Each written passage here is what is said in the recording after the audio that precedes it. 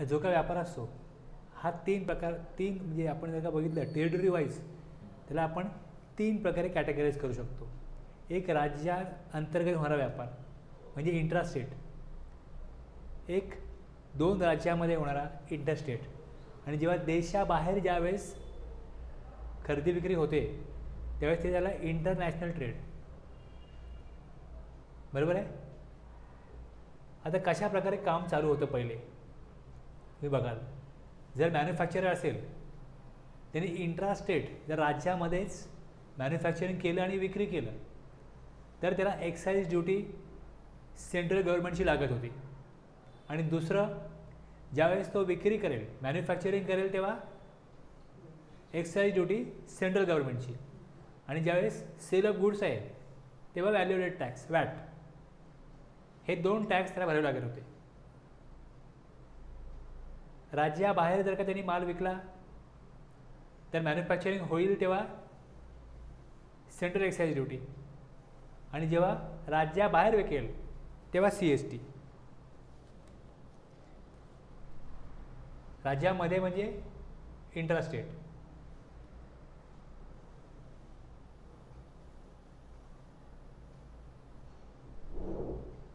Interstate interstate दोन राज्यांमधला व्यापार. दुसऱ्या राज्यामधनं जर का बाहेर असेल दुसऱ्या राज्यामधला बाहेर असेल तर मग गुड्स जेव्हा विकले जातात. त्यावेळी तिथे C S T central sale tax हा लागत होता. राज्यामध्ये एक्साईज ड्युटी आणि वॅट राज्याबाहेर एक्साईज ड्युटी आणि सी एस टी एक्सपोर्ट केलं आणि इम्पोर्ट केलं. जर इम्पोर्ट केलं तर बेसिक कस्टम ड्युटी प्लस त्यामध्ये C B D special C B D जे काय काउंटरवेलिंग ड्युटी हे दोन प्रकार होते. हे एक्साईज ड्युटीला इक्विलंट हे वॅटला इक्विलंट त्यामुळे दोन टॅक्स लागायचे. गुड्स निर्माण कोणी केले? दुसऱ्या देशामधल्या मॅन्युफॅक्चररनी तर मग ते झाल्यानंतर तुम्ही ते आणताय.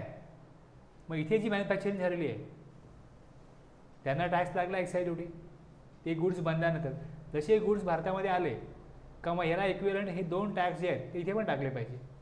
म्हणून दोन दोन प्रकारच्या काउंटरवरी ड्युटीज इथे होत्या. आता याच्यावरती आय जी एस टी लागतो. कस्टम ड्युटी आहेच.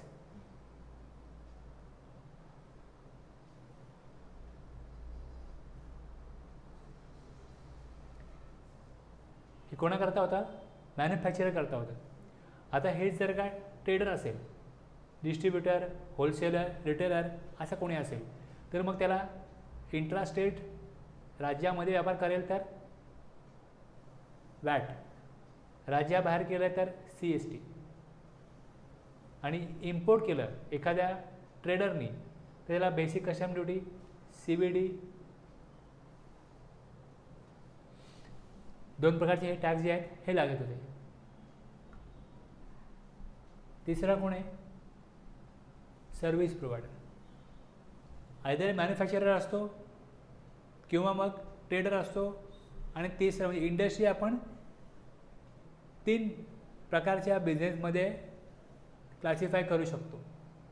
मॅन्युफॅक्चरर ट्रेडर सर्व्हिस प्रोव्हायडर आणि त्यांचा व्यापार परत राज्यामध्ये राज्याबाहेर देशाबाहेर. सर्व्हिस प्रोव्हायडरला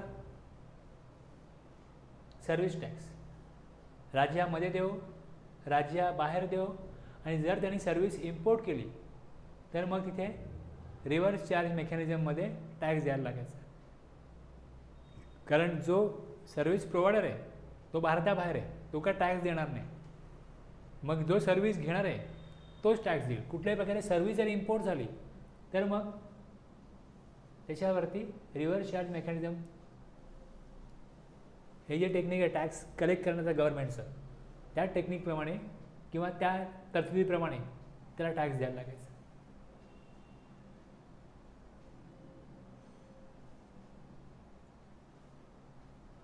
आता हे सगळे जे टॅक्स होते हे गव्हर्नमेंटने काय केले? सबस्युम केले जी एस टीमध्ये सेंट्रल एक्साईज टॅक्स कुठले होते? आता जो एक्साईज ड्युटी आहे आणि सर्व्हिस टॅक्स आहे हे सेंट्रल गव्हर्नमेंटचे टॅक्स आहे. आणि वॅट? स्टेट गव्हर्नमेंटचा. याच्या व्यतिरिक्त आणखीन जे काही टॅक्स होते ते हे वेगवेगळे इकडे दिलेले आहेत. हे सगळे टॅक्स जी एस टी आल्यानंतर लागणं बंद होणार होतं. हे सगळं बंद झालेलं आहे. स्टेटचे जे टॅक्स आहेत. Accept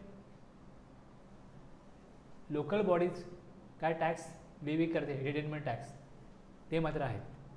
central government entertainment tax बंद झाले. Tax on lotteries betting gambling आता याच्यावरती जी एस टीच लागतो. ही यादी आहे एवढे टॅक्स बंद करायचे आणि एकच टॅक्स ठेवायचा जी एस टी तसं लोकल बॉडीचं कुठलं टॅक्स जी एस टी शिवाय कोणता तरी आपला सध्या नाही आहे म्हणजे म्युन्सिपल कॉर्पोरेशन किंवा आता मंडी टॅक्स वगैरे असतो तो असा आता पण आहेच. मार्केटला वगैरे जे आपण या हे बसतात भाजी घेऊन त्यांच्यावरती टॅक्स लागतोच मंडी टॅक्स वगैरे. पण सगळ्यात मोठा टॅक्स कुठला होता? एंटी टॅक्स होता. एंटी टॅक्समध्ये अशी रांगा लागायच्या मोठ्या. त्या बंद झाल्या. एल बी टी होता. एल बी टी भरा. तर एल बी डी बंद झाला. त्यामुळे महानगरपालिकेला मोठं नुकसान झालं. मग त्यांना काही सर्टन अमाऊंट स्टेट गव्हर्नमेंट देते. प्रत्येक महानगरपालिकेला. आणि तेवढी अमाऊंट जी आहे ती दरवर्षी काही पर्सेंट वाढवून द्यायचं अशा प्रकारचं ॲग्रीमेंट महानगरपालिकांशी सेंट्रल स्टेट गव्हर्नमेंटला करावं लागलं. तसं सेंट्रल गव्हर्नमेंटनी जर तुम्हाला नुकसान झालं त्यामुळे तुम्ही नुकसान भरपाई देऊ पाच वर्ष. अशा प्रकारे त्यांना कॉम्पेन्सेशन सेस दिलेलं आहे. तुम्हाला आम्ही नुकसान भरपाई देऊ. सेंट्रल गव्हर्नमेंटनी ॲश्युरिटी घेतली जे नुकसान होईल ते आम्ही तुम्हाला देऊ. सेम आता स्टेट गव्हर्नमेंट जे स्टेट आहे याच्यामध्ये ज्या महानगरपालिका आहेत त्यांना मिळणारा जो रिव्हेन्यू आहे तो कोण देणार? याची भरपाई कोण करणार? ऑब्वियसली स्टेट गव्हर्नमेंट तुम्ही न्यूज बघितली तर माहीत नाही मला पण ज्यावेळेस पहिल्यांदा काही अमाऊंट आली होती मुंबई महानगरपालिकेची ती अमाऊंट सुधीर मुनगंटीवार त्यावेळेस फायनान्स मिनिस्टर होते. आणि त्यावेळेस पहिल्यांदा त्यांनी काही अमाऊंटचा चेक दिला होता तो घेण्याकरता त्यावेळेस महानगरपालिकेमध्ये उद्धव ठाकरे गेले होते. आणि त्याच्यावरनं एक वाद झाला होता.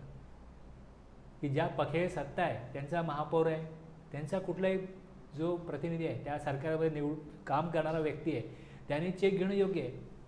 पण महानगरपालिकेमध्ये जो नगरसेवक नाही आहे महान महापौर नाही आहे पण ज्या पक्षाची सत्ता आहे त्याचा प्रमुख आहे त्याला तो चेक स्वीकारण्याचा राज्यघटनेमध्ये त्याला तशी तरतूद आहे का अधिकार आहे का? मग ते कुठल्या अधिकारात तो चेक घेऊ शकतात? आणि त्यांना मग जे फायनान्स मिनिस्टर आहेत ते कुठल्या अधिकारात तो चेक देऊ शकतात? त्यांचा काय संबंध? हे कुठलेही पक्षाचे सुप्रीमो असतील ते चांगले वक्ते असतील चांगले व्यक्ती असतील वॉटेवर त्यांचं बाकीच्या गोष्टी वेगळ्या आहेत. पण इथे घटनेप्रमाणे देश चालतो. संविधानाप्रमाणे देश चालतो. कॉन्स्टिट्युशनप्रमाणे देश चालतो. जो प्रेसिडेंटला अधिकार आहे तेच काम तो करू शकतो. पंतप्रधानाचा जो अधिकार आहे तोच काम ते करू शकतो. जे ज्याच्या अधिकारात बसत नाही ते त्यांनी करणं हे कितपत योग्य आहे?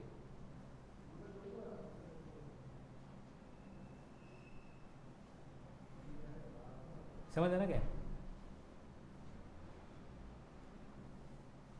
त्यांचा लॉस पण झाला मुंबई महानगरपालिकेचा त्यांचा रेव्हेन्यू कमी झाला होता ना जी एस टी पहिल्यांदा जेव्हा इम्प्लिमेंट झालं त्याच्यानंतर कारण काही बाकीचे टॅक्स त्यांचे बंद झाले नाही जे टॅक्स बंद त्यांचे होणार होते समजा त्यांचा एल बी डी बंद होणार आहे ते एल बी डी किती कलेक्ट होता?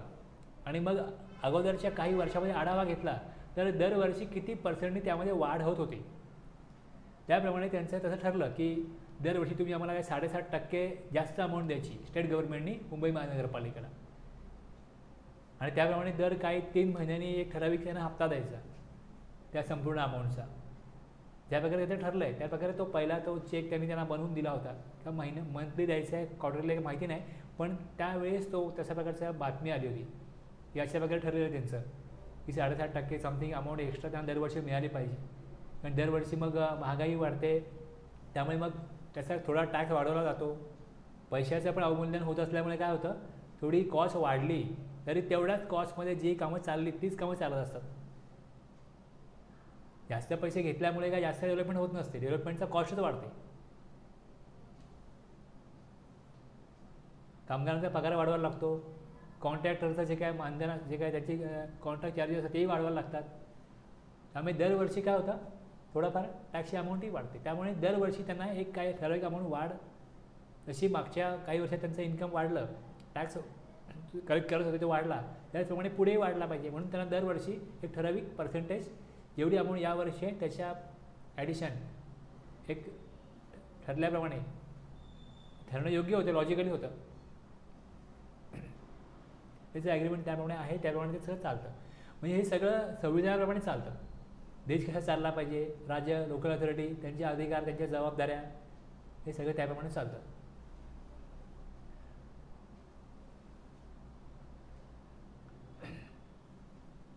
आता जे स्टेटचे टॅक्स होते त्यांचे स्वतःचे ॲक्ट होते रूल होते ते सगळे रद्द झाले. जे सेंट्रल टॅक्सेस होते त्याचं ॲडमिनिस्ट्रेशन सेंट्रल करत होतं. आणि जे मल्टिपल स्टेट टॅक्सेस होते त्याचं जे ॲडमिनिस्ट्रेशन आहे त्याचे मल्टिपल ॲक्ट्स रूल त्याच्या प्रोसिजर्स होत्या. या सगळ्या प्रोसिजर्स ज्या आहेत या सगळ्या प्रोसिजर्स न करता आता फक्त एकच प्रोसिजर करायची होती म्हणजे single tax G S T.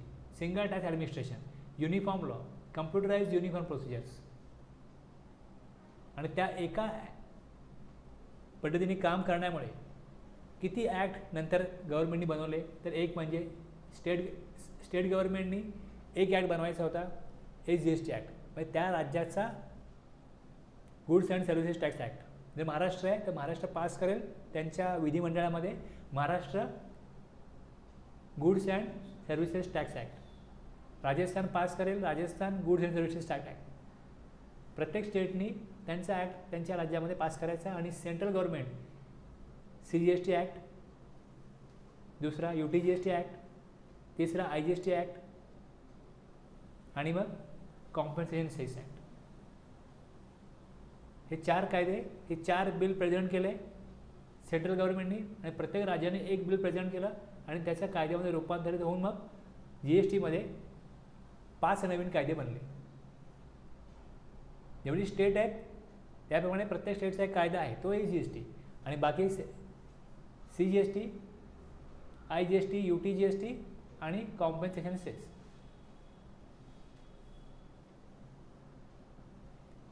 आता या हे बनल्यानंतर त्याचा इफेक्ट काय झाला?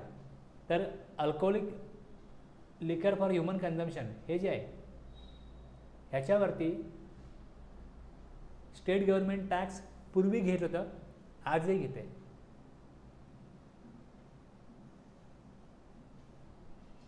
पूर्वपार काळापासून आपण बघतोय की लोक ही दारू पितच होती. इवन आपण अशा काही अशा कथा पण बघतो देवांच्या वगैरे सोमरस वगैरे पिण्याच्या. त्यामुळे त्यामुळे हे काम तर आम्हीच करू. कुठल्याही प्रकारे जी एस टीमध्ये आम्ही ह्याचा टॅक्स देणार नाही. म्हणजे इतक्या इतक्या मोठ्या प्रमाणामध्ये याचा टॅक्स गोळा होतो. दारूवरती. समजा एक शंभर रुपयेची एखादी समजा कॉस्ट असेल एखाद्या वाईनच्या बॉ बाटलीची तर त्याच्यामध्ये शंभर रुपयावर शंभर रुपये टॅक्स लावला तरी कोण ऑब्जेक्शन घेत नाही. कोणी कधी काय मोर्चा काढला आहे संप केला असं काय होत नाही. त्यामुळे किती टॅक्स लावा? चांगल्या प्रकारे वसूल होते त्यामध्ये त्यामुळे तो टॅक्स फार मोठा इन्कम सोर्स आहे. सगळ्या स्टेटने एकत्रपणे सांगितलं जी एस टी काउन्सिलमध्ये की तुम्ही जी एस टीमध्ये हा टॅक्स आम्ही देणार नाही आजही नाही उद्याही नाही कधीच नाही. सगळे पक्ष याला सगळ्या पक्षांनी ह्याला एकमेकांनी पाठिंबा दिला की नाही हा टॅक्स तुम्ही वेगळाच ठेवा. हे मोठं इन्कम आहे. याच्यावरती एक्साईज ड्युटी आणि वॅट हे दोन्ही स्टेट गव्हर्नमेंटला एक फार मोठं उत्पन्न मिळवून देतं. ते जी एस टीमध्ये आणण्याचा प्रश्नच नाही. नंतर मग मुख्य दुसरा स्रोत जो होता टॅक्सचा तो म्हणजे पेट्रोल. आता पेट्रोलमध्ये पण असंच आहे की पेट्रोलमध्ये पण पेट्रोलची जेवढी पेट्रोलियम कंपन्यांकडून एक कॉस्ट किंमत मिळते त्याच्यापेक्षा दुप्पट तिप्पट टॅक्स सेंट्रल गव्हर्नमेंटला आणि स्टेट गव्हर्नमेंटला मिळतो. फक्त भा फक्त भारतामध्येच नाही जगामध्ये सगळीकडे.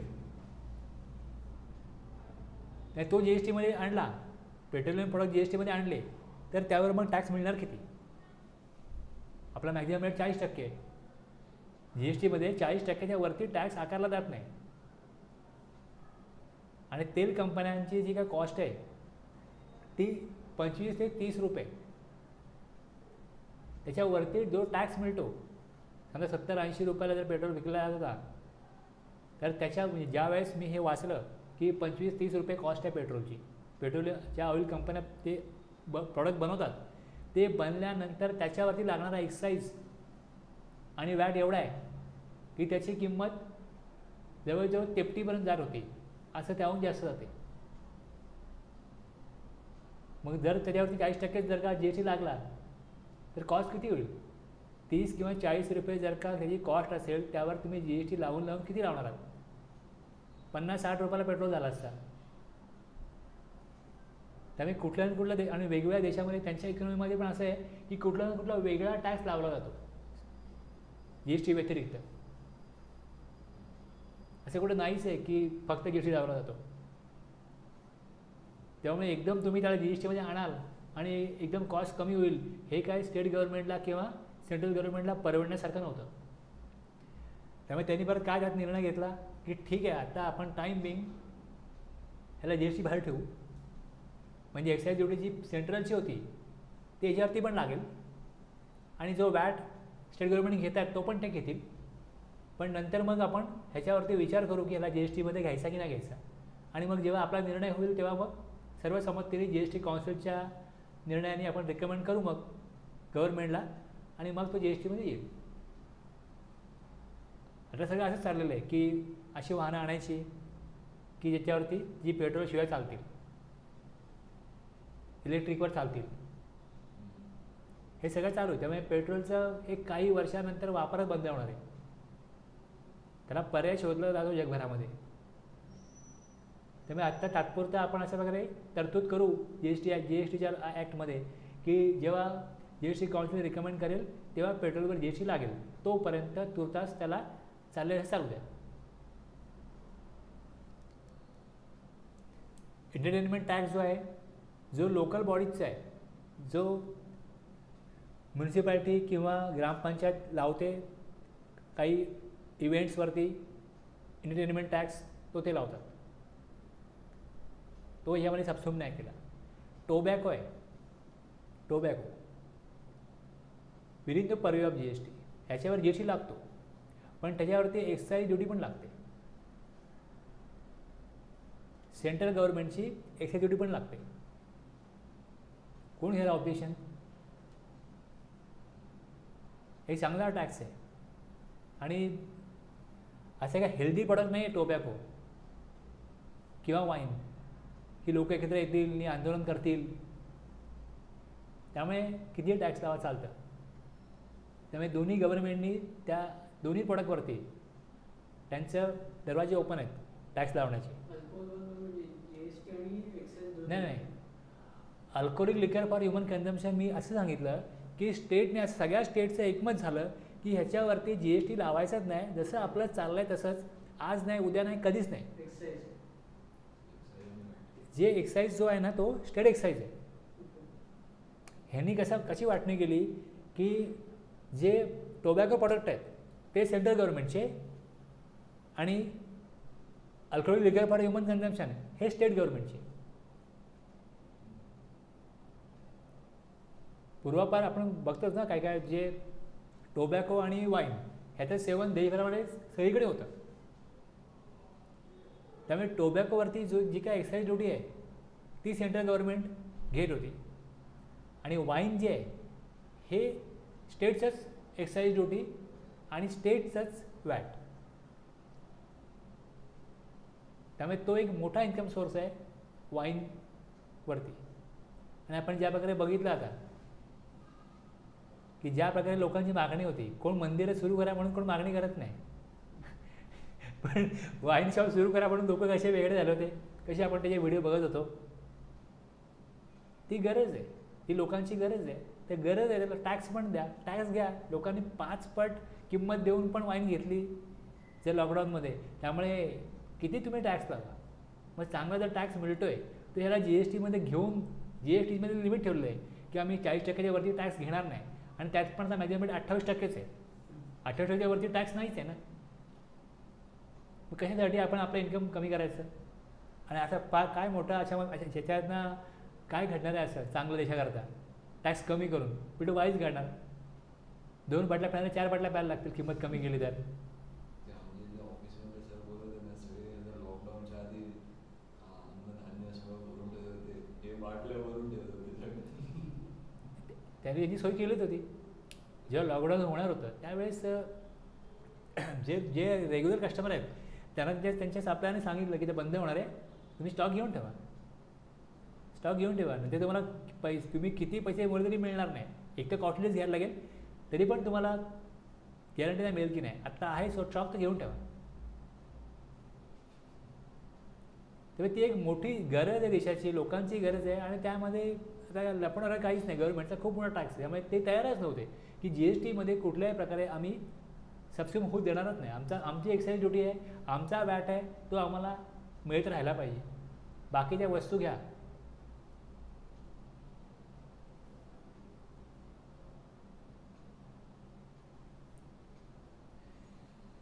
आता मग कसं आहे. एक एक महत्त्वाचा बेनिफिट सांगितला जातो जी एस टीमध्ये की जी एस टीमुळे कॅस्केडिंग इफेक्ट गेला.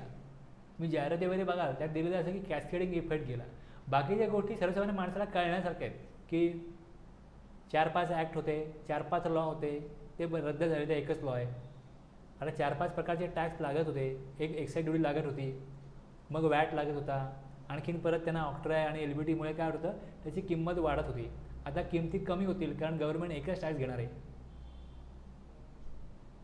मग त्यांनी कशा प्रकारे त्याचं मांडणी केली की अठ्ठावीस टक्क्याच्या वरती टॅक्स घ्यायचा नाही आहे तर एखादं प्रोडक्ट आहे त्याच्यावरती साडेबारा टक्के साडेतेरा टक्के साडे पंधरा टक्के वेगवेगळ्या रेटनी वॅटची आकारणी केली जात. होती समजा साडे पंधरा टक्के वॅट घेतला जातो आहे पण जेव्हा मॅन्युफॅक्चरिंग व्हायचं तेव्हा यावरती साडेबारा टक्के एक्साईज ड्युटी समजा असेल तर टॅक्स झाला किती?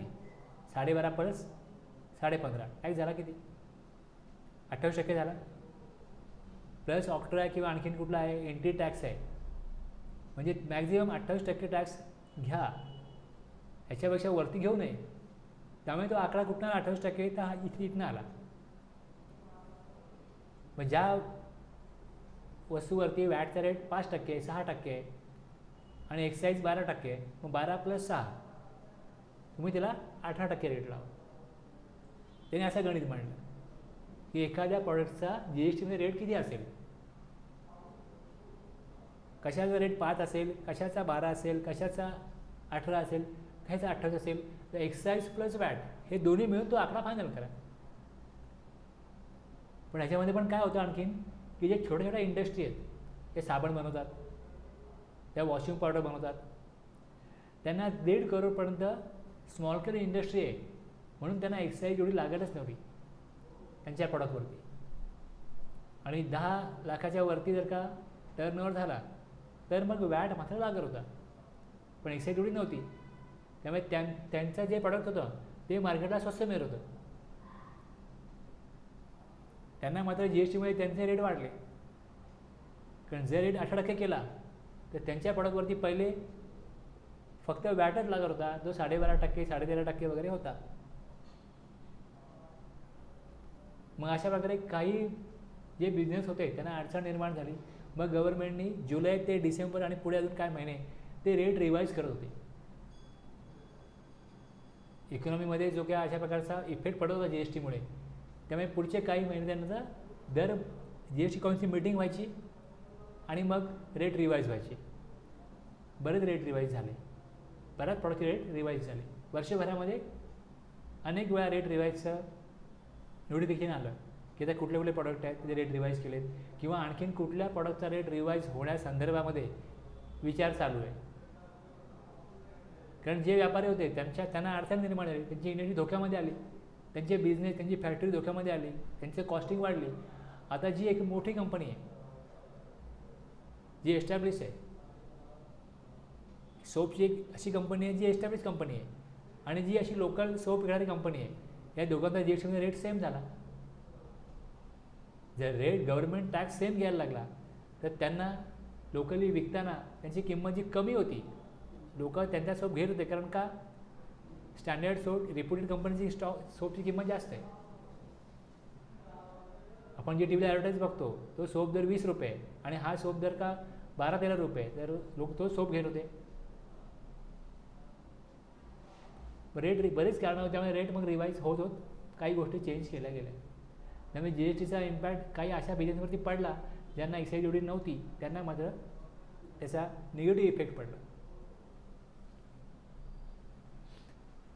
आता एक बार कसं आहे कॅस्केडिंग इफेक्ट तुम्हाला सांगतो कन्सेप्ट काय. आता पहिल्या स्टेजला मॅन्युफॅक्चर ए आहे. मॅन्युफॅक्चरर ए आय बी ए आणि सी ए बरोबर आहे? आता इथे बघा transaction without input tax credit हे कशा प्रकारचं असतं? की रॉ मटेरियल शंभर रुपयाचे प्रॉफिट टेन रुपीज आहे टॅक्स टेन पर्सेंट लागला एकशे एकवीस रुपये कॉस्ट झाली. एकशे एकवीस रुपये कॉस्ट झाली. मॅन्युफॅक्चरर बीला जेव्हा एकशे एकवीस रुपयाला ही वस्तू मिळते त्यावेळेस तो त्याची व्हॅल्यू ॲडिशन करतो चाळीस रुपये. व्हॅल्यू ॲडेड फोर्टी एकशे एकवीसला परचेस केलं value added forty profit ten इतर त्याला खर्च येतो ना काहीतरी. त्याच्याकडे ती वस्तू आल्यानंतर तो जे प्रोसेस करतो त्याच्याकडे जे माणसं आहेत कामं करणारी त्यांचा खर्च विजेचा खर्च जे काय तो तिथे कोळसा वगैरे वापरत असेल त्याचा खर्च ऑइल लागेल त्याचा खर्च सगळं मिळून त्याला व्हॅल्युएशन झाली त्या एकशे एकवीसवरती आणखीन फोर्टी ती वस्तू त्याला मॅन्युफॅक्चरला जो जी वस्तू बनवतो त्याची कॉस्ट त्याला एकशे एकसष्ट पडत असेल तर तो त्यात आपलं प्रॉफिट एक दहा रुपये ॲड करेल.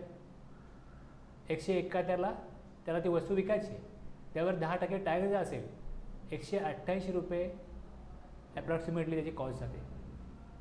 ती वस्तू तो मॅन्युफॅक्चरर सीला विकतो. ह्यावर त्याचा दहा रुपयाचा प्रॉफिट इन्क्लूड आहे. ती कॉस्ट एक एकशे अठ्ठ्याऐंशी झाली. तर एकशे अठ्ठ्याऐंशीवरती सीचं व्हॅल्युएशन झालं शंभर रुपये. प्रॉफिट टाकलं पन्नास रुपये. ती वस्तू तीनशे अडतीसला तो विकू इच्छितो. त्याची कॉस्ट आहे. त्याच्यावर टॅक्स आहे. किती रुपये वसूल पडेल? कन्झ्युमरला आता हे जे प्रोडक्ट आहे हे रॉ मटेरियल आहे हे ए बनवतो. ह्याच्यापासून धागा बनतो. या धाग्यापासून शर्ट म्हणा तुम्ही अंगरखा म्हणा जो आहे तो बनतो. त्यामुळे एका मॅन्युफॅक्चररचं जे फिनिश प्रोडक्ट आहे ते दुसऱ्या मॅन्युफॅक्चररचं काय आहे? रॉ मटेरियल अशा प्रकारे इंडस्ट्री चालत असते. आता ह्याच्यामध्ये हा जो टॅक्स आहे दहा अकरा टक्के अकरा रुपये. हा अकरा रुपये टॅक्स आहे. इथे सतरा पॉईंट एक आहे. इथे तेहतीस पॉईंट आठ एट आहे. आता हे ही जी अमाऊंट आहे ही अमाऊंट हा टॅक्स ह्याने ह्याच्यावर लावला. हा टॅक्स ह्याने ह्याच्यावर लावला. त्यांच्या कॉस्टमध्ये तो टॅक्स ॲड केल्यामुळे त्यांची कॉस्ट वाढली. आता इथे हा पर्सन रजिस्टर आहे किंवा अनरजिस्टर आहे? त्यांना कॉस्ट प्रत्येकाला आपली जी ॲडिशन होईल तो ती लावणारच आहे. आणि जर एखाद्याने परचेस केलं रजिस्टर पर्सनकडनं तो टॅक्स त्याकडनं घेणार. दोन अनरजिस्टर पर्सन असतील तर ते एकमेकांना टॅक्स चार्ज करणार नाही. पण रजिस्टर पर्सन असतील तर टॅक्स चार्ज करतील. हे एक मॉडेल आहे. या मॉडेलप्रमाणे अशा प्रकारे काम होतं. आता इनपुट टॅक्स क्रेडिटचा कन्सेप्ट काय बघा लक्षात घ्या. इनपुट टॅक्स क्रेडिटचा मॅन्युफॅक्चरर ए आहे. तो हा जो टॅक्स लावतो इलेवन रुपीज एकशे दहाला परचेस होतं. व्हॅल्यू ॲडिशन टेन रुपीज होतं. प्रॉफिट टेन रुपीज आहे. इथे एकशे साठ रुपये. टॅक्स सोळा रुपये कलेक्ट केला. कॉस्ट झाली एकशे शहात्तर. सगळं असंच आहे. कॉस्ट झाली तीनशे एक्केचाळीस. आता ह्याच्यामध्ये हा जो टॅक्स दिला आहे त्याने अकरा रुपये. किंवा एक मिनटं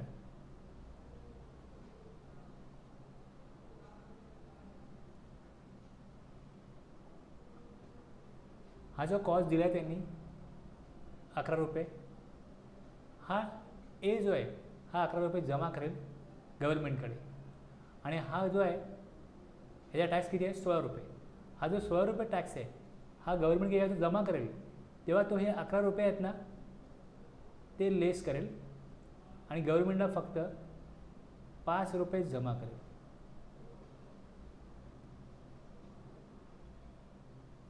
कन्झ्युमर नाही आहे हा मॅन्युफॅक्चरर बी जो आहे ना हा कन्झ्युमर नाही आहे हे लक्षात घ्या.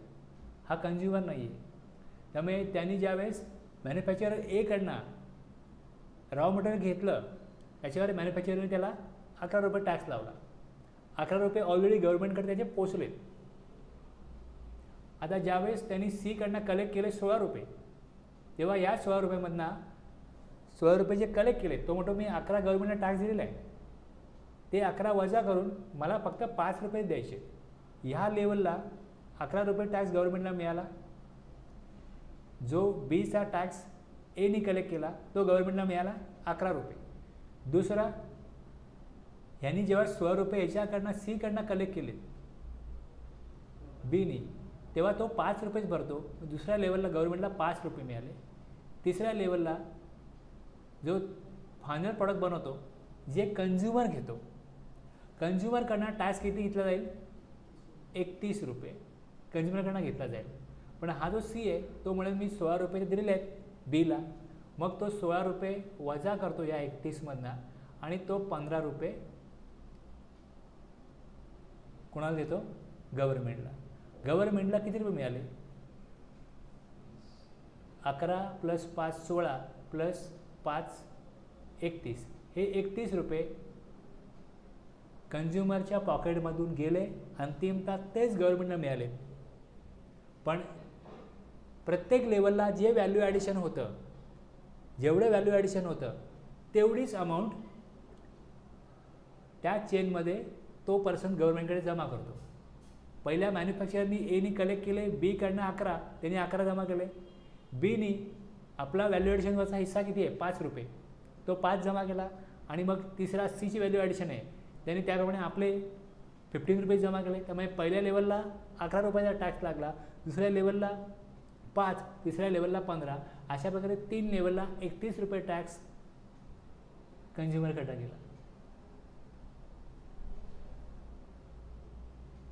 ह्याला म्हणतात व्हॅल्यू ॲडेड टॅक्स हे जे व्हॅल्यू ॲडिशन आहे हे व्हॅल्यू ॲडिशन एक्साईजमध्ये पहिल्यांदा सुरू झालं. पहिले एक्साईजमध्ये व्हॅल्यू ॲडिशन नव्हतं. एक्साईजमध्ये याच प्रकारे काम चालायचं. पहिलं आपला टॅक्स कलेक्ट करेल गव्हर्नमेंटला भरेल. दुसरा आपला करेल गव्हर्नमेंटला भरेल. कुठल्याही प्रकारचा इनपुट टॅक्स क्रेडिटचा कन्सेप्ट नव्हता. एक्साईज ड्युटीमध्ये पहिल्यांदा कन्सेप्ट आला आणि त्याला सेनवॅट नाव आहे. सेनवॅट सेंट्रल वॅट सेनवॅट पण सेल टॅक्स जो आहे तो याच प्रकारे चालू होता. कलेक्ट करा भरा. ज्यांनी जो कलेक्ट केला त्याने तो भरायचा. त्यामुळे कुठल्याही प्रकारचं बेनिफिट नाही ना. सेनवॅडमध्ये जो बेनिफिट मिळायला लागला की जर का तुम्ही रजिस्टर पर्सन असाल तुम्हाला इनपुट टॅक्स क्रेडिट मिळेल. तिकडे सेनवॅट क्रेडिट नाव होतं. सेनवॅट क्रेडिट मिळेल. मग त्या सिस्टीममुळे इमानदारी टॅक्स भरणारे लोक वाढतात हे गव्हर्नमेंटला कळलं. सेल टॅक्समध्ये पण टॅक्सचं प्रमाण खूप वाढत जातं. कारण जसं डिस्ट्रीब्युशन चॅनल वाढत जातं वस्तूची किंमत वाढत जाते. आसाममध्ये चहा बनतो. तो चहा आसाममधनं जर का देशात पोचत असेल तर डिस्ट्रीब्युशन चॅनल काय होतील? वाढतील ना. रेल्वे जेव्हा संपूर्ण बऱ्याच ठिकाणी पोचते तर ठीक आहे पण ज्यावेळेस कम्युनिकेशन तेवढं स्ट्रॉंग नव्हतं. वीस वर्षापूर्वी ज्यावेळेस म्हणजे किंवा तीस वर्षापूर्वी ज्यावेळेस तेवढे महामार्ग बनलेले नव्हते रेल्वे सगळे पोचलेली नव्हती त्यावेळेस तर कॉस्टिंग खूप वाढत होती. आता डेव्हलपमेंटमुळे काय होतं एका दिवसामध्ये कुठेही काही पोचतं मी हा माईक बुक केला रात्री. रात्री बुक केला हा अमेझॉनवरती सकाळी अकरा वाजता मला मिळाला. दुसऱ्या दिवशी.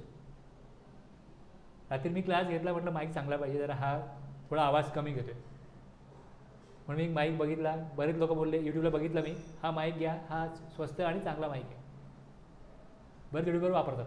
बरेच लोक वापरतात त्यांच्या रेकॉर्डिंग करण्याकरता हा माईक मी बघितला म्हटलं चला घेऊया हा माईक आणि पहिले मी असं समोर असा स्ट्रेट माईक ठेवायचो. मला असं हलता यायचं नाही असं बोलावं लागायचं.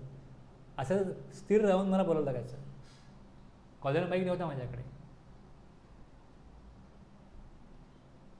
कम्प्युशन एवढं फास्ट आहे की तुम्हाला बऱ्याच गोष्टी आज बुक केल्या कुठल्याही वेळेला मॅक्झिमम परवापर्यंत मिळतात.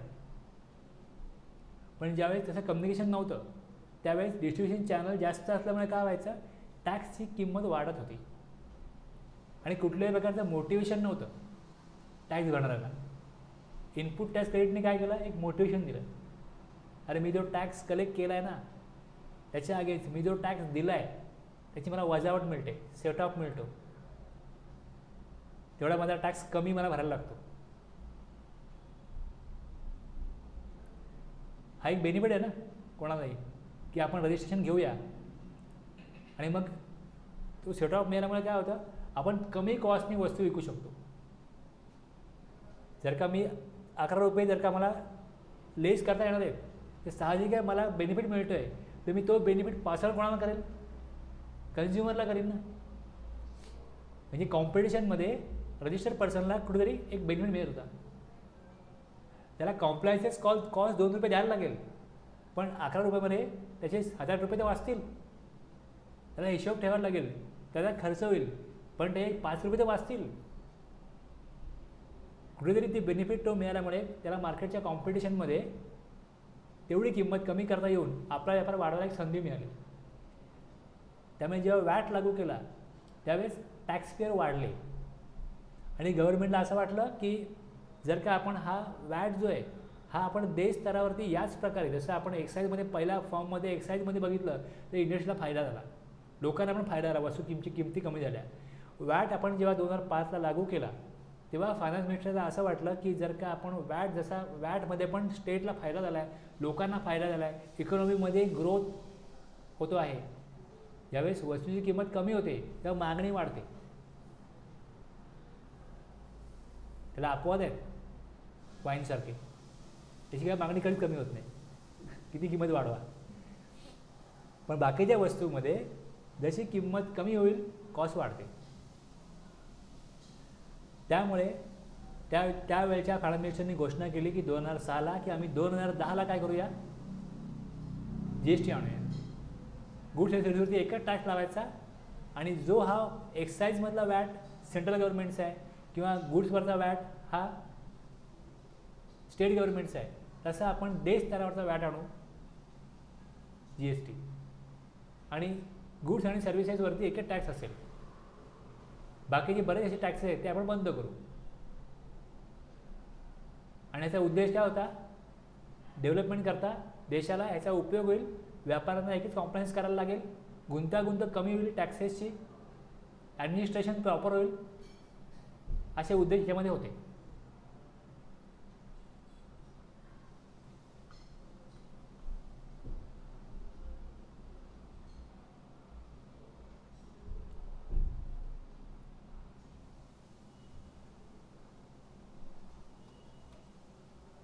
पहिल्या लेवलला एक्साईजवरती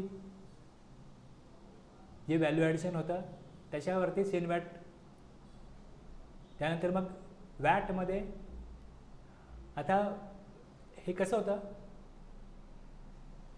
एखादा मॅन्युफॅक्चरर आहे तो काय करतो? दोन टॅक्स भरतो. एक एक्साईज ड्युटी दुसरा सर्व्हिस टॅक्स जर एखादा एखाद्याकडे फक्त सर्व्हिस टॅक्स नंबर आहे आणि त्याने एखाद्या प्रॉडक्टचं परचेस केलं आणि त्याच्यावरती जर एक्साईज ड्युटी असेल तर तो सर्व्हिस टॅक्स प्रोव्हायडर पण एक्साईज ड्युटीचं क्रेडिट घेऊ शकत होता.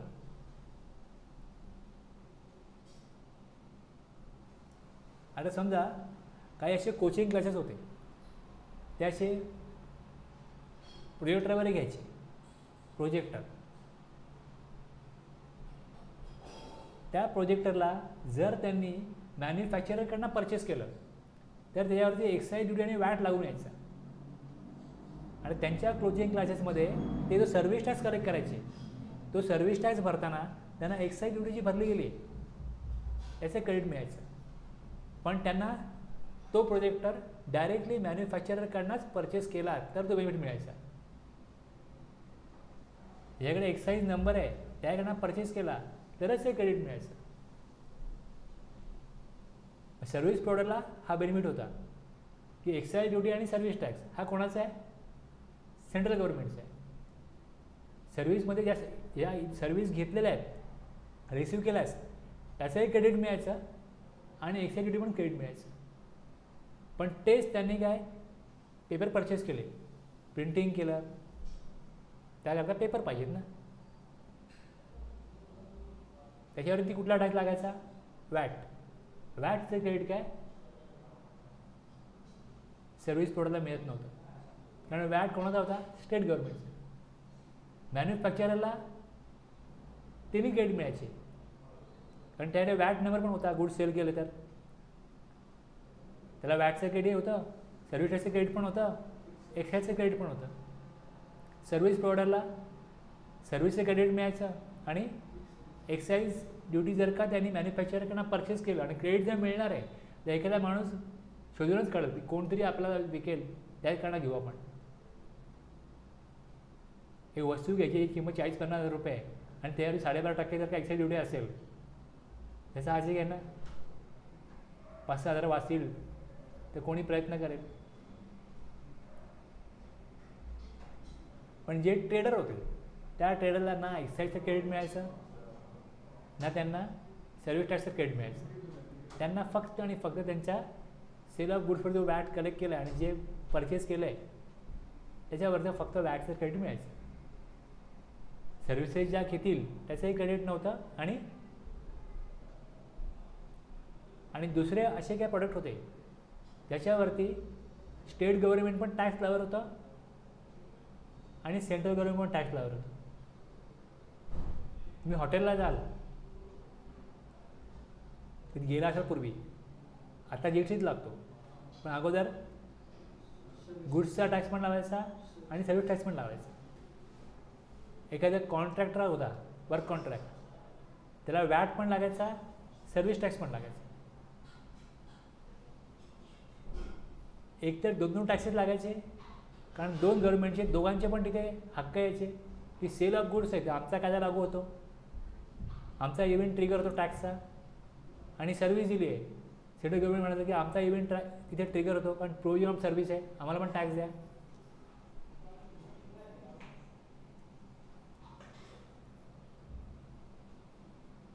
ह्यातनं काय होतं? की जर का एखादा ट्रेडर आहे त्याला टॅक्स लायबिलिटी आउटपुट कुठली आहे? त्याला क्रेडिट कुठलं मिळणार आहे? आणि जर का मॅन्युफॅक्चरर आहे तर एक्साईज ड्युटी आहे सर्व्हिस टॅक्स आहे वॅट आहे तिन्ही क्रेडिट मिळत होते. पण जो वॅट डीलर आहे no credit of excise duty on goods no credit of service tax मग त्याच्या कॉस्टमध्ये त्याची जी कॉस्ट होती समजा एक हजार रुपयाची वस्तू आहे ती मॅन्युफॅक्चरर झाली त्या एक्साईज ड्युटी लागली. तर जी अमाऊंट येईल त्या अमाऊंटवरती वॅट लागत होता. समजा एक हजाराची वस्तू आहे तर या एक हजारावरती जर साडेबारा टक्के म्हणजे एकशे पंचवीस रुपये होईल एक्साईज ड्युटी एकशे पंचवीस रुपये. म्हणजे अमाऊंट किती होईल? अकराशे पंचवीस. या अकराशे पंचवीसवरती वॅट चार्ज व्हायचा. असं नाही की तुम्ही एक हजाराची लावा. वस्तूची किंमत एक हजार आहे ना? तुम्ही वॅटचा जो काय रेट आहे साडेबारा टक्के साडेसतरा टक्के पंधरा टक्के तो तुम्ही एक हजारावरती घ्या ना. स्टेट गव्हर्नमेंटचं म्हणणं काय होतं? त्या वस्तूची किंमत काय झाली? टॅक्स लावल्यानंतर. तीच किंमत आहे आमची याच्यावरती आम्ही वॅट लावू. म्हणजे टॅक्सवरती टॅक्स लागत होता. याला म्हणतात कॅशकडिंग इफेक्ट मॅन्युफॅक्चरला कुठलाही कॅशकडिंग इफेक्ट नव्हता. पण वॅट कॅश कॅस्केडिंग इफेक्ट होता. सर्व्हिस प्रोडक्टला एक्साईज ड्युटीचं क्रेडिट मिळत होतं. आणि सर्व्हिस टॅक्सचं क्रेडिट पण मिळत होतं. पण नो क्रेडिट ऑफ वॅट तो जी वस्तू घेत होता ती वस्तू त्याला जेवढा पडेल त्याचप्रमाणे तो आपली कॉस्ट फायनल करेल. त्यामुळे इथे पण कॅश कॅरिंग इफेक्ट होता. आता मॅन्युफॅक्चरर असो सर्व्हिस प्रोव्हायडर असो किंवा ट्रेडर असो यांना जी वस्तू असते त्याच्यावर जी एस टीच लागतो. मॅन्युफॅक्चरर ज्या मॅन्युफॅक्चरिंग करतो गव्हर्मेंटने रेट काय केला आहे मॅन्युफॅक्चर करा ट्रेडिंग करा. एक पर्टिक्युलर गुड्स आहे त्याच्यावर रेट जर बारा टक्के आहे तर बारा टक्केच लावायचा. अठरा आहे तर अठराच लावायचा. कुठे कोणाचं क्रेडिट अडत आहे कुठे कॅशरिंग इफेक्ट येतो आहे हे काहीच होत नाही आता.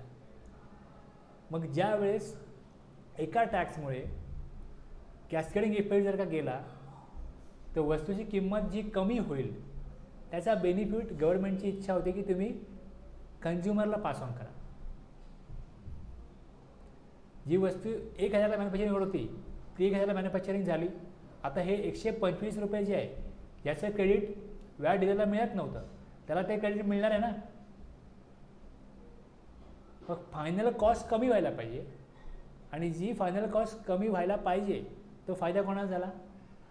कन्झ्युमरचा टॅक्स कोणाचा आहे? गव्हर्नमेंटचा मग गव्हर्नमेंटचा टॅक्स जर कमी होईल गव्हर्नमेंटचा टॅक्स जर कमी होईल जो वॅटमध्ये किंवा एक्साईजमध्ये जो गव्हर्मेंटला टॅक्स मिळत होता तो जर टॅक्स कमी होईल तर मग नवीन टॅक्स आणून तो टॅक्स जर कमी मिळणार असेल तर गव्हर्नमेंटला फायदा कसा काय? स्टेटचं म्हणणं काय होतं? तुम्ही ज्या प्रकारे नवीन कायदा बनवताय जो लोकांना फायदेशीर आहे पण आमचं जे चाललं आहे जो वॅट मिळतो आम्हाला तो जर तेवढी अमाऊंट आम्हाला जी मिळाली नाही तर आम्ही आमचं जे चालवायचं कसं काय? महानगरपालिकेला नुकसान भरपाई आम्ही द्यायची कशी काय? याच्यामध्ये सूत्र काय होतं? की वस्तूची किंमत कमी झाली तर मागणी वाढेल. आणि दुसरी इमानदार टॅक्सपेअर वाढतील. जे लोक किंमत जास्त आहे टॅक्स जास्त लागतो म्हणून रजिस्ट्रेशन घेत नाहीत ती लोक रजिस्ट्रेशन घेतील. रजिस्टर व्यापारी वाढतील वस्तूच्या किमती कमी होईल होतील त्यामुळे टॅक्स कलेक्शन वाढेल. टॅक्स चोरी किती आहे? गव्हर्नमेंटचा काहीतरी सर्वे असतो की टॅक्स चोरी किती आहे? ती टॅक्स चोरी जेव्हा सेनिवॅट आणला कमी झाली वॅट आणला दोन हजार पाचला त्यावेळेस कमी झाली. तसं आपण जी एस टी जेव्हा लागू करू तेव्हा आणखीन जे व्यापारी आहेत रजिस्टर व्यापारी ते वाढतील. इमानदार टॅक्सपेअर वाढतील. वस्तूच्या किमती कमी होतील आणि मग राज्याचं टॅक्सचं कलेक्शन वाढेल. काहीतरी मजबुरी आहे म्हणून लोक टॅक्स चोरी करतात. पण जर त्यांना कुठेतरी आपण बेनिफिट जास्त देत असू ते म्हणजे कशाला पाहिजे उगाच? आज ना उद्या पकडलं भीती आहे ना काहीतरी टॅक्स चोरी करतो आहे अशा इमानदारीत आपण एस टी नंबर घेऊन त्याचा बेनिफिट जो आहे इनपुट टॅक्स फीडचा आपण जर घेणार असू तर आपल्याला निवंत झोप लागेल. टॅक्स कलेक्ट करू टॅक्स भरू आणि वस्तूची किमती पण कमी होतील. आता कसं आहे म्हणे का? मला सांगतो की यावेळेस एखादा मॅन्युफॅक्चरर काय वस्तू मॅन्युफॅक्चरिंग करतो. सपोज छत्र्या मॅन्युफॅक्चरिंग करतो. छत्र्या एखाद्या बनवल्या. त्याच्यामधल्या तीनशेच बिलावर जातात. सातशेचं बिल बनत नाही. त्याच्यावरती कुठलाही इन्कम टॅक्स कुठलाही एक्साईज कुठलाही वॅट काय नाही. तुम्ही बिल मागाल ते बिल नाही. हे बिलवरती आलेली वस्तू नाही. बऱ्याच वस्तू अशा रेनकोट छत्री. इवन चांगले चांगले प्रॉडक्ट आहेत जे तुम्हाला विदाऊट बिल येतात. तुमचे मित्र कोण असे मित्र असल्यानं विचारा तुम्ही. तुमच्या व्यापारी मित्रांना विचारा. की हां किती अशा प्रकारचं मटेरियल येतं? की विदाऊट बिल येतं आणि विथ बिल येतं. ते जे विदाऊट बिल येणारं मटेरियल जे आहे ना ते जी एस टीनंतर बऱ्याच प्रमाणामध्ये ते प्रमाण कमी झालं. सगळं विथ बिल या येण्याचं प्रमाण वाढलं. कोणाला म्हटलं ना किंमत थोडी कमी करा मा. म्हणतो आता काय विदाऊट बिल येत नाही म्हणतात. आता सगळं बिलावरती येतं. फार मार्जिन नाही आता राहिलं पहिल्यासारखं असं काय व्यापारी म्हणायला लागले. पहिल्याने घ्यायचं विदाऊट बिल बेनिफिट मिळायचा. आता इकडे तुम्हाला बिल दिलं म्हणजे आम्हाला जी एस टी भरायचं आहे इन्कम टॅक्सला पण अमाऊंट दाखवायला लागेल आता. आता फार बार्गेनिंग तुम्ही करू नका पहिल्या एवढं करू नका. किंमतही कमी झाली पहिल्यापेक्षा थोडी. म्हणजे जे मी वाचत होतो ऐकत होतो मी लोकांना विचारत होतो तुमचं वीज बिल वाढलं आहे का आता? का तुम्ही पहिल्यासारखंच करताय? म्हणतात नाही आता. फार कमी झालं आहे पहिल्या जे पहिले प्रमाण होतं आज दहावीस टक्केच राहिले. बऱ्याचशा लोकांनी आता बंदच केलं विदाऊट बिल देणं.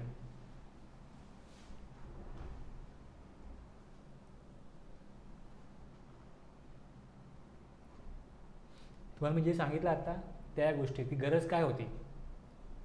गरज काय होती? आता सॉफ्टवेअर आहे. सॉफ्टवेअरमध्ये दोन्ही टॅक्स लागत होते. सर्व्हिस टॅक्स आणि वॅट आता एकच टॅक्स लागतो. म्हणजे गव्हर्नमेंटनी एक ठरवलं असं की आता आम्ही तुम्हाला सांगू की हे गुड्स आहे का सर्व्हिस आहे? लॉमध्ये सांगू की वर्क कॉन्ट्रॅक्ट आहे. आम्ही अगोदर बोलवतो की हे सर्व्हिस आहे आम्हाला टॅक्स द्या. आम्ही अगोदर बोलवतो स्टेट बोलेल हे गुड्स आहे आम्हाला टॅक्स द्या. आता स्टेटचं काय ऑब्जेक्शन नाही. स्टेट मानायला तयार आहे की वर्क कॉन्ट्रॅक्ट ही सर्व्हिस आहे. रेस्टॉरंट ही सर्व्हिस आहे. बसल्यावर तुम्ही टॅक्स द्या आता. आता एकच टॅक्स आहे. त्यात गुड्स जरी इन्व्हॉल्व असले पण गव्हर्नमेंट सांगत असेल की हे गुड्स आहे ते गुड्स सर्व्हिस आहे सर्व्हिस एकच टॅक्स लागेल जी एस टी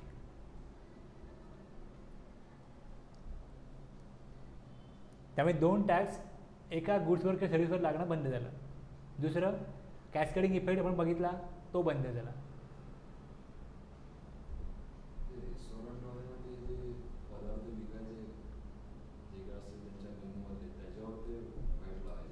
कशावर? हां. हां. हां. हो.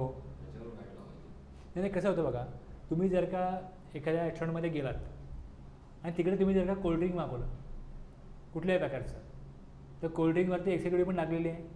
वॅट पण लागलं आहे आता हॉटेलच्या वॅटमध्ये पण नंबर असणं गरजेचं आहे कारण ते कोल्ड्रिंक विकतात. बरोबर आहे?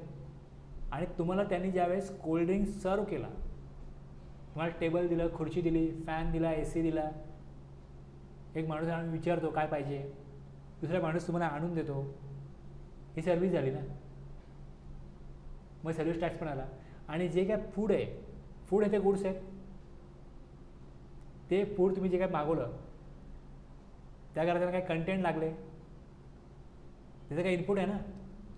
तुम्ही जर का लंच जरी मागवलं डिनर जरी मागवलं तरी त्याच्यामध्ये जे काही वस्तू असतील तर पापड आहे लोणचे आहे याच्यावर टॅक्स लागतो गुड्सच्या केसमध्ये पण तुम्हाला त्याने एक डिश बनवून दिली. बनवून दिली म्हणजे मग सर्विस झाली. मी त्यांनी बनवलं जरी किंवा बने बनाय प्रॉडक्ट पण जरी तुम्हाला दिलं टेबलावरती बसल्यावरती जेव्हा एम आर पी आहे ना एखाद्या प्रॉडक्टवरती आणि तुम्ही काउंटरवरती घेता तेव्हा त्याला एम आर पीच्या वरती घेता येत नाही. जी किंमत आहे कॉस्ट आहे जी एम आर पीच्या वरती चार्ज करता येत नाही. पण तुम्ही जेव्हा तीच वस्तू तिकडे जाऊन बसता आणि घेता त्यावेळेस तुम्हाला बसण्याचा चार्ज लागणार. तो किती पण असेल. थोडी टपरी काय असे ना तिकडे जाऊन तुम्ही बसलात का सर्व्हिस चार्ज आला? काउंटर सेलच तसं नाही. बाहेरच्या बाहेर तुम्ही वस्तू घ्याल बोलाल एम आर पी. एवढीच आहे. तुम्ही मग जास्त कॉस्ट का घेता? हे विचारू शकता. तिथे सर्व्हिस इन्व्हॉल्व नाही आहे पण जेव्हा वस्तू बनवतो तेव्हा ती वस्तू जी किंमत आहे वस्तू ज्याने विकत घेतली आहे त्यावरती टॅक्स आहे. आणि मग ती वस्तू त्यांनी काय केली? प्रोसेस करून एक वेगळा पदार्थ बनवला. ते बनवून देणं ही सर्व्हिस आहे. त्यामुळे हॉटेलमध्ये दोन्ही टॅक्स लागत होते. आता हॉटेल सर्व्हिस आहे. ते सर्व्हिस आहे. मग त्यांनी काय केलं? गुड्स आहे ना त्यांनी लिस्ट बनवली. हे गुड्स आहेत ही सर्व्हिस आहे. आणि जी आपली कस्टमची लिस्ट आहे मी जर कस्टम बघाल मी दाखवतो कस्टम जे क्लासिफिकेशन आहे गुड्सचं जे गुड्सचं क्लासिफिकेशन आहे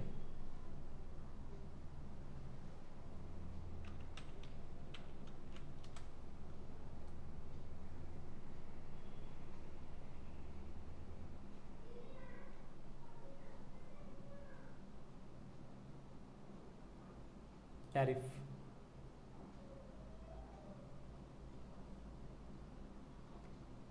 इथे अठ्ठ्याण्णव नाईन्टी एट चॅप्टर आहेत. Ninety eight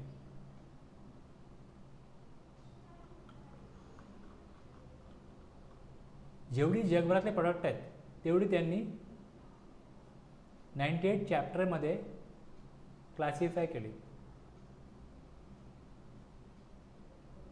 live animal section वनमध्ये पाच चॅप्टर आहेत. व्हेजिटेबल प्रॉडक्ट्स सेक्शन टूमध्ये सहा ते चौदा. मिनरल प्रॉडक्ट्स आहे पंचवीस सव्वीस सत्तावीस. प्लास्टिक अँड आर्टिकल्स एकोणचाळीस चाळीस.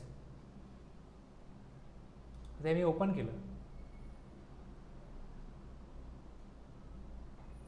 ते पहिल्यांदा वरती आहे ना इकडे तुम्हाला चॅप्टर नोट दिसतील की याच्यामध्ये काय असेल काय नसेल वगैरे वगैरे दिलेलं असेल वरती माहिती दिलेली आहे. चॅप्टर थर्टी नाईन ह्या नोट्स आहेत. खाली याल तुम्ही.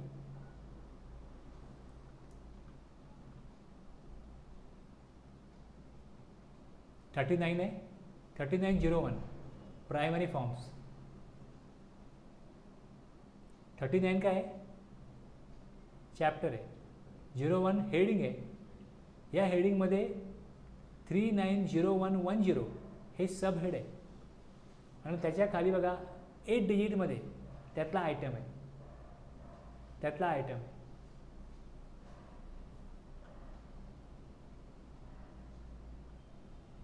एट डिजिट आयटम आहे आणि त्याची इम्पोर्ट ड्युटी पुढे आहे.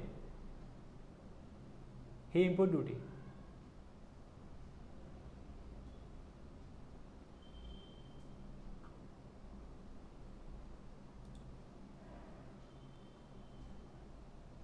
मशिनरी कुठे आहे? Eight four eight five electrical machinery आणि इक्विपमेंट. मी एट फाय काढला.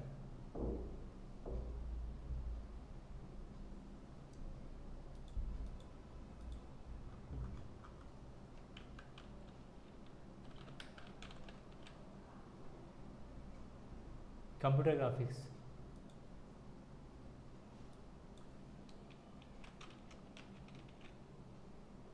इथे कुठे प्रिंटर येत नाही. हा एट फाय एट फोर बघा आता.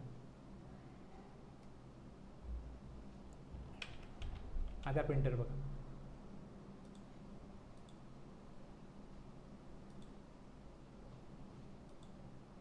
Line printer dot matrix printer laser jet printer inkjet printer आहेत ना आता? आता बघा इथं कोडिंग काय ज्यावेळेस तुम्हाला प्रिंटर मागवायचा असेल प्रिंटरची ऑर्डर द्यायची असेल त्यावेळेस एक्झॅक्टली तुम्ही कुठला प्रिंटर मागताय? मी कुठला प्रिंटर द्यायचा? हे केव्हा कळेल? त्या कोडवरनं जर डिस्प्यूट व्हायला नको असतील तर एक्झॅक्टली तिकडे कोड स्पेसिफाय करा की तुम्हाला कुठला प्रिंटर पाहिजे.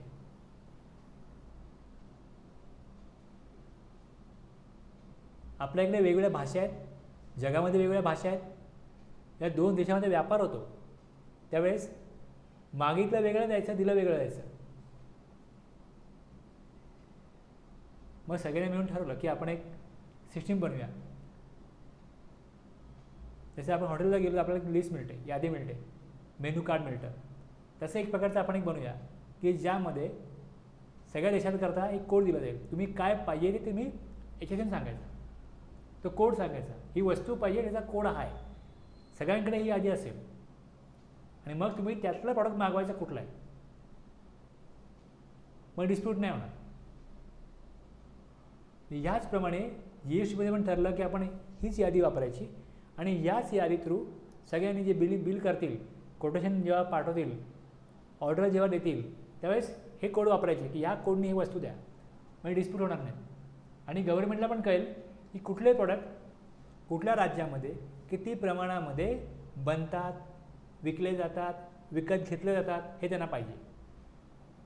त्यामुळे ज्यावेळेस त्यांनी रेट लिस्ट फायनल केली रेट डिक्लेअर केले तेव्हा या एच एस एन वाईज त्यांनी लिस्ट डिक्लेअर केली.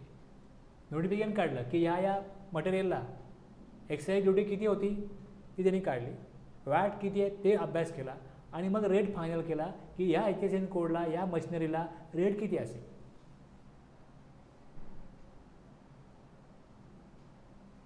अदरवाईज सांगणार कसं काय? कुठल्या मटेरियलचा रेट किती? जी एस टीमध्ये हे सांगणार कसं काय? मग ह्या H S N code wise rate मिळणार. आणि जे सर्विस आहे त्याचा जे नंबर आहे तो नाईंटी नाईन असेल. त्याला सर्व्हिस अकाउंट कोड म्हणतात. Ninety nine service account code त्याला सहा डिजिट नंबर येतो. सर्व्हिस अकाउंट कोडला हे मी कुठनं काढला का? कस्टममधनं काढला. एक्साईजला पण याच प्रकारे टॅरिफ होतं. तेच टॅरिफ जे कस्टम्स आहे तेच एक्साईजला पण होतं. मी ते एक्साईजला येऊन बघाल की त्याचं एक्साईज ड्युटी किती होती तुम्हाला समजेल. एट फोर एट फाय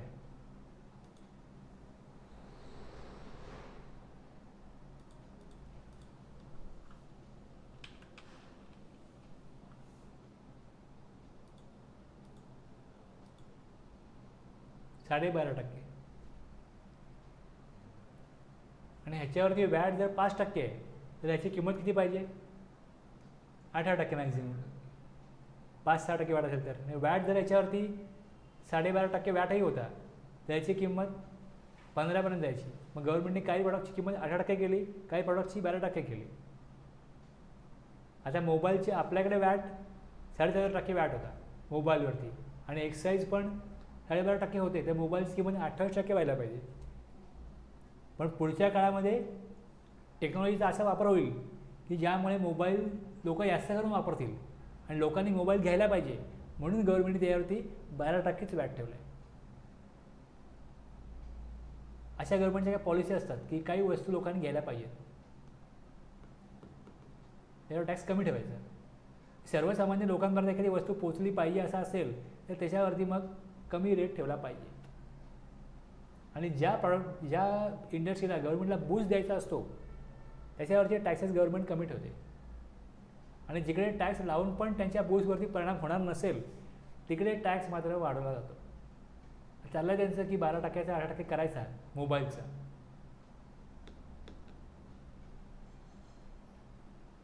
समजलं? जर तुम्ही इकडे जी एस टीमध्ये या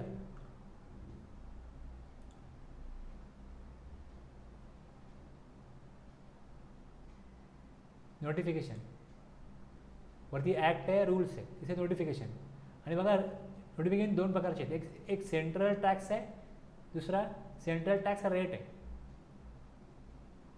रेटमध्ये फक्त रेटचे नोटिफिकेशन मिळतील. बाकीचे रेट नोटिफिकेशन त्यांनी वेगळे केले. म्हणजे मिक्स नाही केले. रेट विशेष आहे. बाकी सगळे एकत्र रेट वेगळा. रेटमध्ये गेलो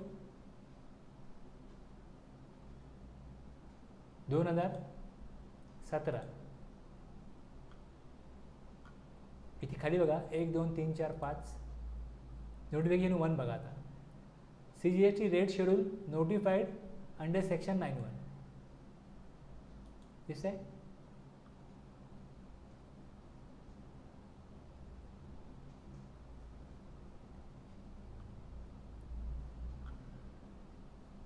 हे एवढे सगळे त्याचे चुका झाल्यात ते. आहेत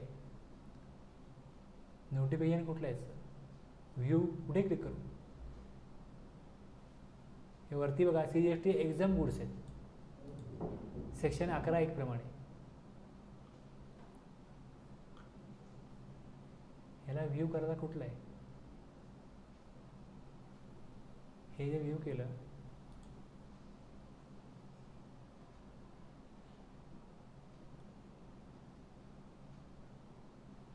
हे दोन नंबरचं आहे ना?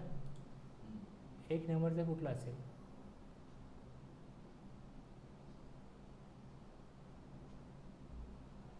तो व्ह्यू आहे त्याच्याखाली तो गव्हर्नमेंटच्या खाली नाही वरचा वरतून दुसरा येस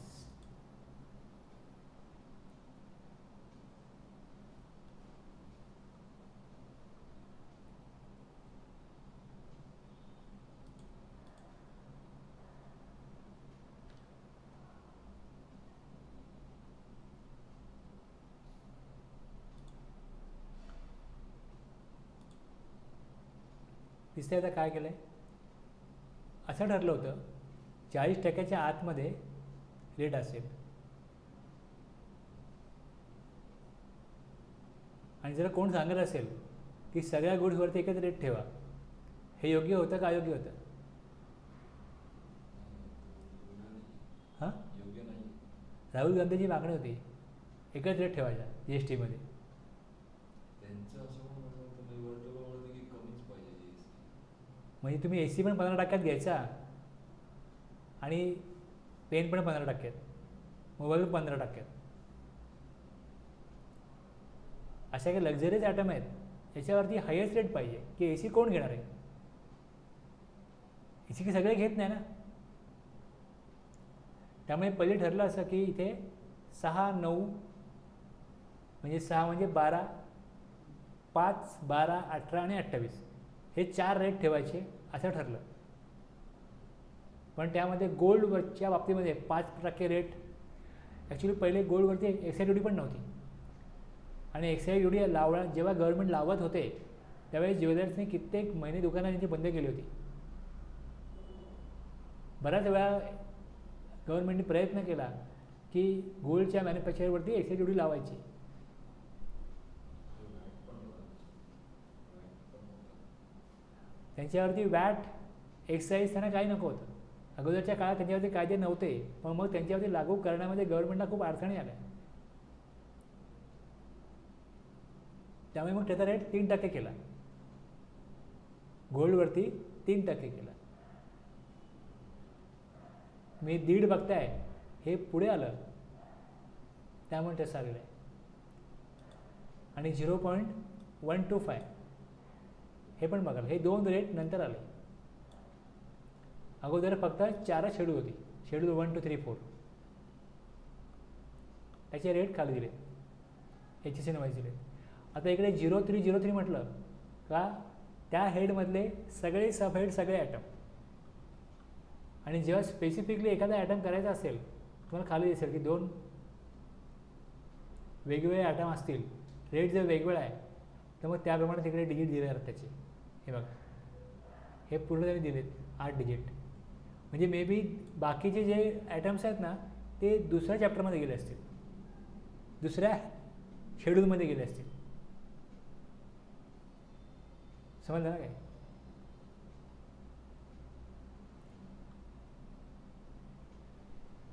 समजतं ना काय म्हणतो?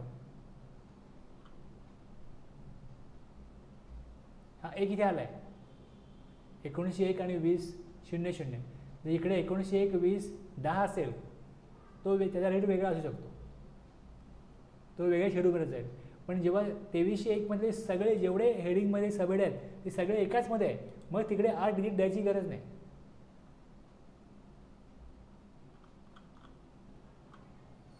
हे पहिल्यांदा काढलेलं नोटिफिकेशन आहे. पुढच्या महिन्यात यातले बरेच रेट रिवाईज झाले. त्याच्या पुढच्या महिन्यात बरेच रेट रिवाईज झाले. हे सगळं चक्र चालू होतं बरेच महिने.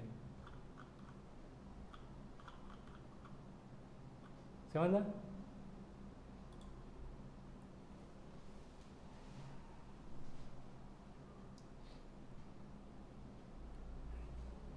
वॅट जो होता हा ओरिजिन बेस्ड टॅक्स होता. आणि जी एस टी हा काय? आहे डेस्टिनेशन बेस्ड टॅक्स आहे. ज्या स्टेटमध्ये विकला जाईल त्या स्टेटला टॅक्स मिळेल. ते स्टेटच्या बाहेर विकला गेला तर. पहिले वॅट किंवा सी एस टी जो ज्या स्टेटमधला व्यापारी वॅट कलेक्ट करायचा ते मटेरियल जर राज्याबाहेर विकलं जायचं तर सी एस टी लागायचं. ती अमाऊंट त्या राज्यालाच मिळायची. राज्याबाहेर विकला गेला दुसऱ्या स्टेटमध्ये तिकडे सी एस टी दोन टक्के लागल्यानंतर ते राज्य त्या सी एस टीचं क्रेडिट त्याला देत नव्हतं. टॅक्स कोणी घेतला त्या राज्याने. आम्ही क्रेडिट देणार नाही सी एस टीचं सी एस टीचं क्रेडिट मिळत नव्हतं. वॅट त्या राज्याचं आहे विकत घेतलं आहे विकलं आहे त्या राज्यात क्रेडिट द्यायचं. सी एस टीचं क्रेडिट मिळायचं नाही.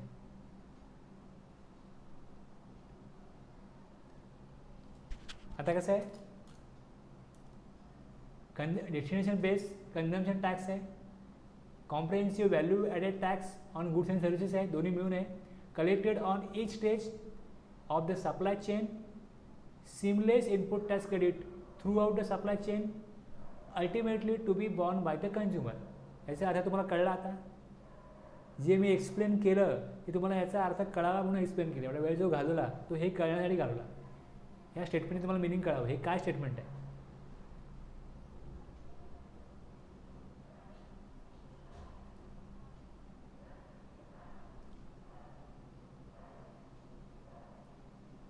स्टेटची डेफिनेशन काय बघा?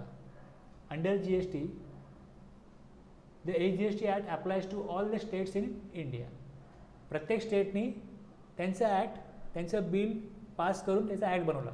स्टेट कशाला म्हणतात? The definition of state states in the Indian constitution includes union territories with their own legislature इथे विधिमंडळ आहे या युनियन टेरिटरीमध्ये ते पण स्टेटच आहे. Hence H G S T act also applies to union territories of Delhi Puducherry and Jammu and Kashmir हे तीन युनियन टेरिटरीज आहेत. बरोबर आहे? पण तिथे त्यांचं विधिमंडळ आहे.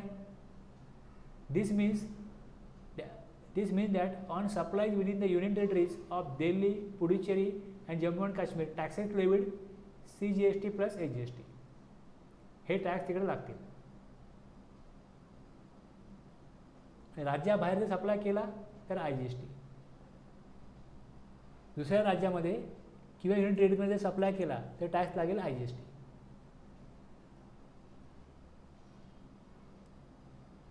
Chandigarh Lakshadweep Ladakh Dadra and Nagar Haveli आणि दमण अँड दीव हे दोन पहिले वेगवेगळे होते. आता दोघांचं मिळून एकच केलेलं आहे. युनियन टेरिटरी एकच केले. बाजूबाजूला आहेत एकत्र केलेत. त्यांचं एकच नाव केलं. Andaman and Nicobar island okay Jammu आणि काश्मीर लडाख वेगळा झाला. Lakshadweep Ladakh Dadra and Nagar Haveli and Daman and Diu हे एकत्र केलं गेलं. त्यामुळे नंबर ऑफ युनिटेटरी टेरिटरी तेवढाच राहिला जेवढ्या पहिले होत्या. काश्मीरपासून वेगळं केलं त्यांनी. हे दोन एकत्र केले. तिथे मग U T G S T act लागतो आणि तिकडे टॅक्स लागतो. U T G S T हे जी एस टी लागत नाही. सी जी एस टी आणि U T G S T. हे दोन टॅक्स लागतात. आता आपल्याकडे ॲक्ट झालं किती? आणि याच्यामध्ये टॅक्सेबल इव्हेंट काय? सप्लाय जर सप्लाय होईल तर टॅक्स लागेल. कुठल्या ॲक्टप्रमाणे इंट्रास्टेट जर असेल तर सी जी एस टी आणि ए जी एस टी किंवा U T G S T. आणि राज्याबाहेर किंवा युनियन टेरिटरीबाहेर सप्लाय केला तर आय जी एस टी त्या ॲक्टप्रमाणे तो टॅक्स लागेल. युनियन टेरिटरीज कुठल्या आहेत? पाच. The Andaman Nicobar island Lakshadweep Dadra and Nagar Haveli and Daman and Diu Ladakh Chandigarh आणि जम्मू आणि काश्मीर दिल्ली आणि पुडुचेरी या युनियन टेरिटरीज जरी असल्या तरी त्या सेमी स्टेट आहेत. तिकडे एक जी एस टी देतो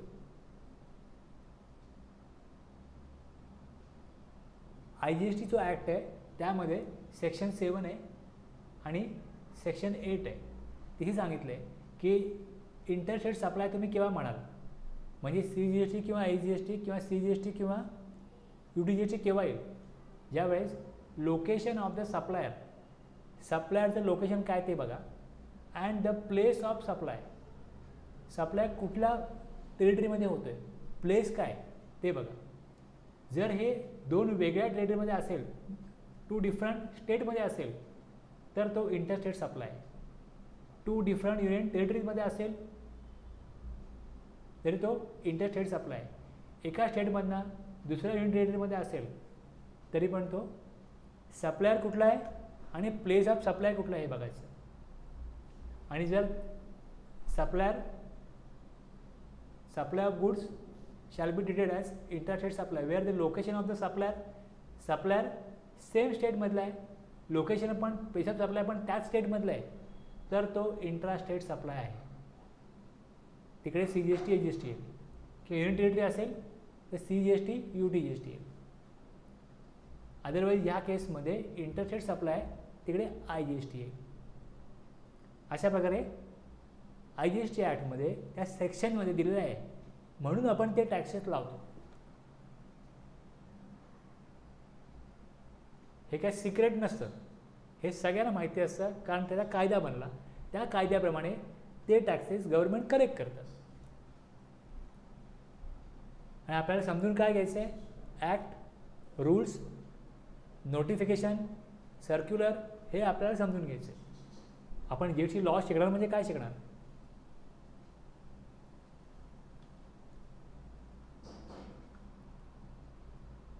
हे चार टॅक्सेस येतात असणार आता बघा. इथे स्टेट वन आहे. स्टेट वनमध्ये विदिन स्टेट सप्लाय झाला तर C G S T A G S T state बाहेरमधून state टूला सप्लाय झाला तर I G S T state टूमध्ये state two to union territory I G S T union टेरिटरीमध्ये C G S T U T G S T आणि या union टेरिटरीमधनं किंवा स्टेटमधनं जर देशाबाहेर supply झाला तर आय जी एस टी तर आय जी एस टी हे जरा पूर्णपणे आय जी एस टीचं कसं आहे? एक स्टेट आहे स्टेट दुसरं स्टेट आहे. तिसरं युनियन टेरिटरी आहे विदाऊट लेजिस्लेचर तर मग U T G S T येईल हे एकदा का आपण समजून घेतलं आहे का आपल्याला पुढे हे ॲक्ट समजून घेताना काम करताना सोपं जाईल?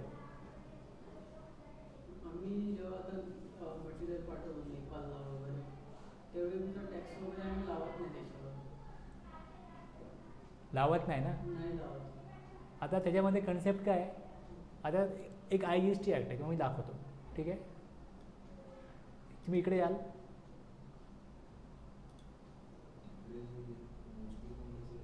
हां? एक मिनिट सांगतो आहे I G S T act काढला मी.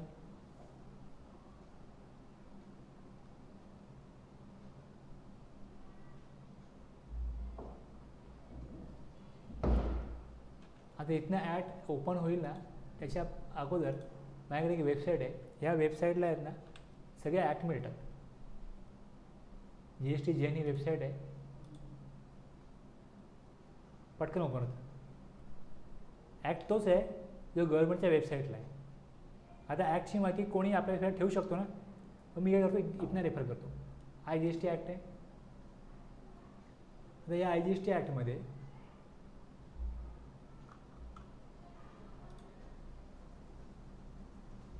ह्या डेफिनेशन्स आहेत. ओके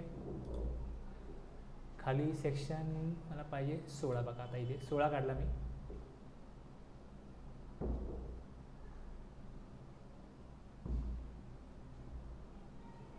आता हा जो बघाल तुम्ही इकडे zero rated supply means any of the following supplies of goods और services are both namely export of goods और सर्व्हिसेस आर बोथ किंवा सप्लाय टू सेल्स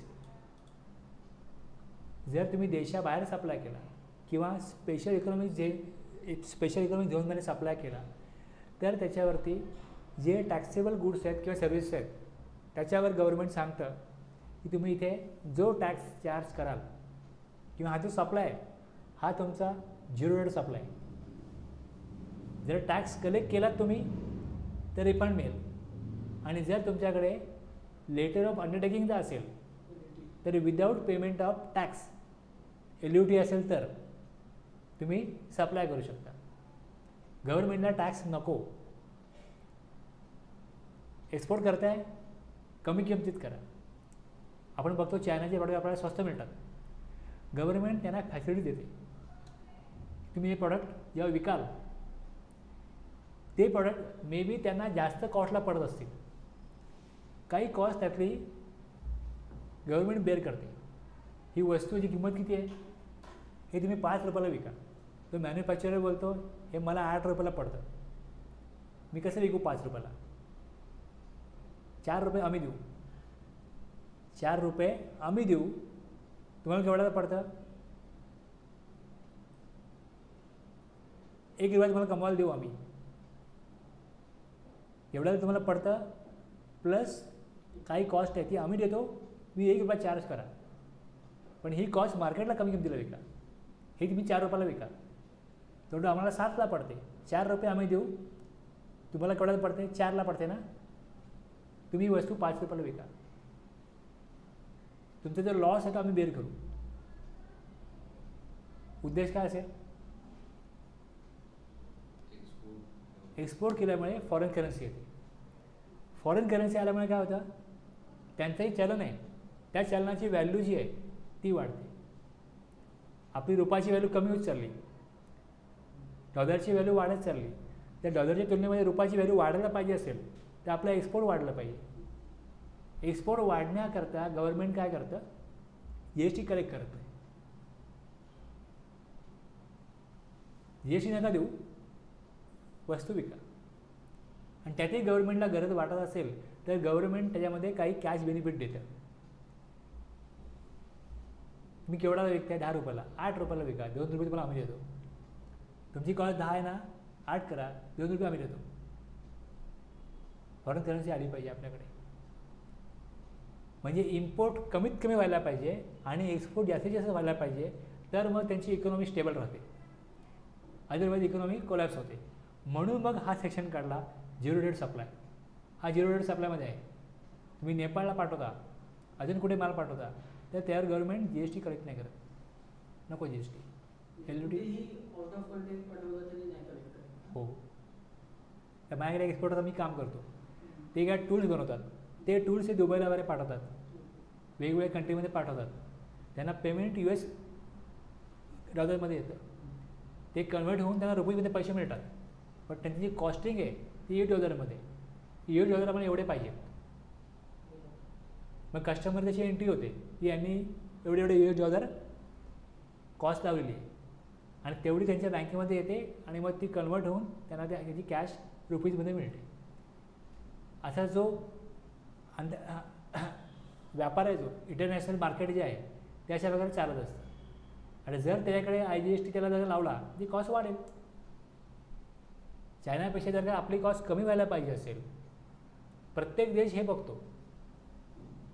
की आपलं मॅक्झिमम एक्सपोर्ट होईल आणि मग तिथल्या इंडस्ट्रीला तिथल्या व्यापाऱ्यांना एक्सपोर्ट करण्याकरता चालना देणं हे गव्हर्नमेंटचं काम आहे. त्यामुळे हे जे इकडे एक तुम्हाला बेसिक प्रोजेक्ट मिळेल झिरो डेट सप्लाय आणि एक अशी आहे म्हणजे कुरिअर कंपनी आहे आपली कुरिअर कंपनी पण महाराष्ट्रातली आहे आमची कंपनी पण महाराष्ट्रातली आहे जर त्यांच्याशी आपण ट्रान्झॅक्शन केलं पण त्या कुरिअर कंपनीनं जो आमचं मटेरियल आहे ना बाहेर पाठवलं ओमनला पाठवलं ते आय लावतात. तसं लॉमध्ये दिलं आहे की जर तुम्ही एक्सपोर्ट होण्याकरता जर का कुरिअर करत असाल. तर ते जे तुमचं ट्रान्झॅक्शन आहे ते पण तुमचं इंटरस्टेट सप्लायमध्ये येतं आणि त्याच्यावरती आय टी लागतो.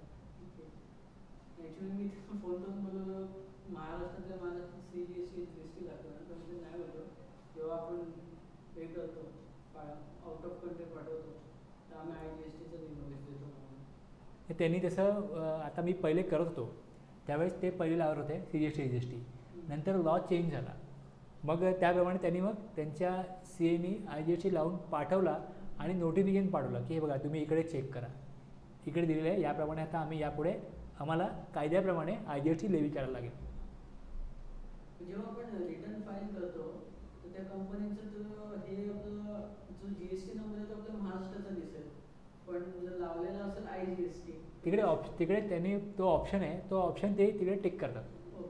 त्यातून गव्हर्नमेंटला समजतं की यांनी कुठल्या हां कुठल्या कारणाकरता ह्या हा ही सर्व्हिस दिलेली आहे आणि मग त्या त्या ट्रान्झॅक्शनमुळे तो आय जी एस टी येतो आहे त्यांना कळतं. मी त्यांना हे विचारलं मग तुम्ही काय करता? ते म्हणाले आम्ही हा ऑप्शन टिक करतो. मी तो बघितलेला पहिले. त्यांनी जेव्हा तो पहिल्यांदा इन्व्हॉइस पाठवला तेव्हा त्यांनी इन्व्हॉइसबरोबर ते लिंक पण पाठवली.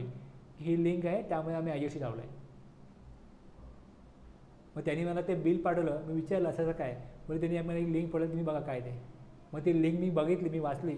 आणि त्यांनी नंबर पण दिला होता की त्यांचा जो सी आहे त्याचा हा नंबर आहे. तुम्ही त्याशी बोलू शकता. मला ते कळलं वाचल्यावरतीच. तरी मी त्याशी बोलून घेतलं की नक्की तुम्ही काय करता? तुम्ही कुठला ऑप्शन टिकमार्क करता? हाच करता का? हे मी कन्फर्म करून घेतलं. कॉम्प्लेन्स करताना तुम्ही तुमच्या कॉम्प्लेन्समध्ये काय दाखवाल? आम्हाला ठीक आहे आम्ही त्याचा आय जी एस क्रेडिट घेऊ. आमचा प्रॉब्लेम नाही काय? तुम्ही काय करता तिकडे? जसं कायदा बनतो त्याप्रमाणे पोर्टलला ते कॉम्प्लायन्सेस करण्याकरता तसे ऑप्शन अवेलेबल गव्हर्नमेंटला करून द्यावेच लागतात. अदरवाईज मग ते म्हणजे लॉ वेगळा सांगतोय पोर्टल वेगळा सांगतोय. मग कसं जाणार काही गोष्टी अशा झालेल्या आहेत की ज्या पोर्टलला उशिरा अपडेट झाल्या कायदा बदलला. तुम्ही एका इन्व्हॉइसच्या अगेन्स्ट अनेक क्रेडिट नोट देऊ शकता. एका इन्व्हॉइसच्या अगेन्स्ट एकच इन्व्हॉइस द्यायचा असेल तर तिकडे द्या एकच क्रेडिट करायचं असेल तिकडे द्यायला लागतं की ओरिजिनल इन्व्हॉइस नंबर काय होता. तिथे ऑप्शन होता. त्यामुळे ॲक्च्युली व्हायचं आहे का प्रॅक्टिकली मार्केटला की पहिल्यांदा मटेरियल मी पाठवलं. त्या मटेरियलमध्ये काही अमाऊंट शॉर्ट आली. सगळं साबण आहेत साबण काय गोल्ड नाही की आपण दहा वेळा मोजू साबण काय उचलले टाकले भरले. दोन चार कमी गेले त्यांनी मोजले. नाईंटी एटच आहेत नाईंटी सेवनच आहेत. मग ते credit note debit note issue करायचे. तीन गुन्हे आता हे साबणाच्या आवी जर का अशी कुठली वस्तू आहे ही नाशिवंत आहे ती कमी गेली पहिली डेबिट नोट मग डॅमेज झाली दुसरी डेबिट नोट अशा डेबिट नोट किंवा मग आता ते इव्हेंट संपला. समजा पंधरा ऑगस्टचा इव्हेंट आहे म्हणून ते मागवलं होते. तो इव्हेंट संपला तर आम्ही परत पाठवू. तिसरी डेबिट नोट. आता बेड आहेत.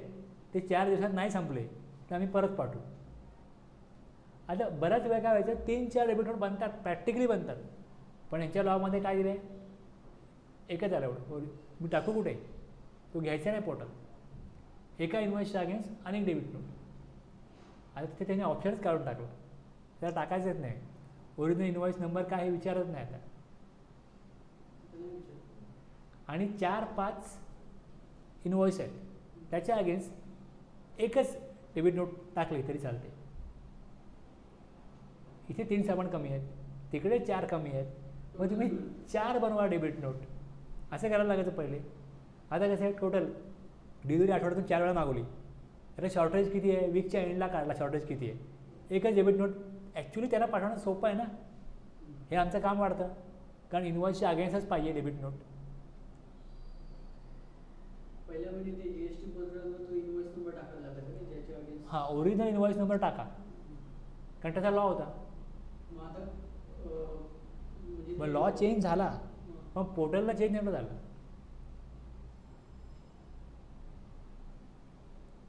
नंतर मग ते चेंज झालं. म्हणजे क्रेडिट नोट तुम्ही जर टाकता ना तर क्रेडिट नोट नंबर टाका अमाऊंट टाका संपलं. तो विचारत नाही. हे हा क्रेडिट नोट तुम्ही जेव्हा बनवताय तेव्हा त्याच्या अगोदर इन्व्हॉइस नंबर कुठला होता कुठल्या डेट्सचा होता? आता जर मग इन्व्हॉइस नंबर तिथे टाकला आणि जर त्या इन्व्हॉइस नंबरला अगोदर क्रेडिट नोट गेलेली आहे तो सांगायचा की ऑलरेडी एक क्रेडिट मी बनवली आहे. दुसरी येणार नाही आता. ते महिन्याच्या एंडला माल गेला का त्या महिन्याच्या एंडला एक क्रेडिट नोट ते पहिले द्यायचे डेबिट नोट ती पहिली बनायची. वीकमध्ये दुसरी पाठवायची. मग त्या महिन्यात दुसरी डेबिट नोट क्रेडिट टाकायला गेलो तर ती घेत नाही. मग काय करायला लागायचं? दुसऱ्या कुठला तरी इन्व्हॉइस नंबर टाकायला लागायचा. आणि ते अशा प्रकारचा मूर्खपणा होता की दुसऱ्या इन्व्हॉइसमध्ये तो मालच नसायचा. ती प्रॉडक्ट त्यामध्ये नाही. त्यात वेगळे प्रॉडक्ट पाठवले पण तो घ्यायचा ते. चला ठीक आहे कॉस्ट कमी झाली. ते ॲक्च्युली मिनिंगलेस होतं. नंतर तो लॉ चेंज केला मागणी केली. जी एस टी काउन्सिलमध्ये तो च- विषय आला की व्यापाऱ्यांची मागणी आहे तुम्ही चेंज करा. पण लॉ चेंज झाला लॉ अमेंड झाला. लॉ अमेंड झाला पण आता पोर्टलचं प्रोग्रामिंग चेंज करायला पाहिजे. ते चेंज उशिरा झालं बऱ्याच काळ असंच चालू होतं.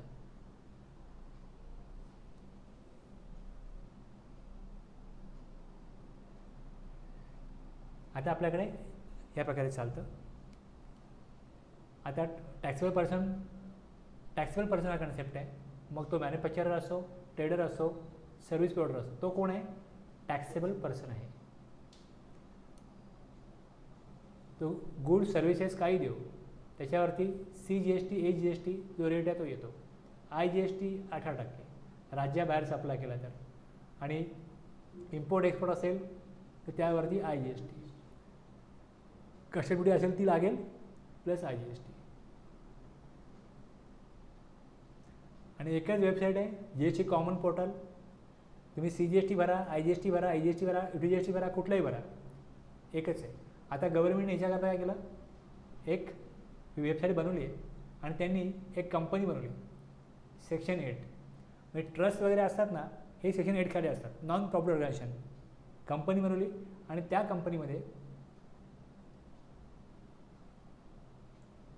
common and shared uniform interface for the tax pay and common and shared I T infrastructure between the centre and state तुम्हाला रजिस्ट्रेशन करायचं आहे. तुम्हाला टॅक्स पे करायचं आहे. रिटर्न भरायचं आहे. सगळ्या एकाच साईटला एकाच वेबसाईटला सेंट्रल सेंटर स्टेट सगळ्यांचं एकच एकच साईट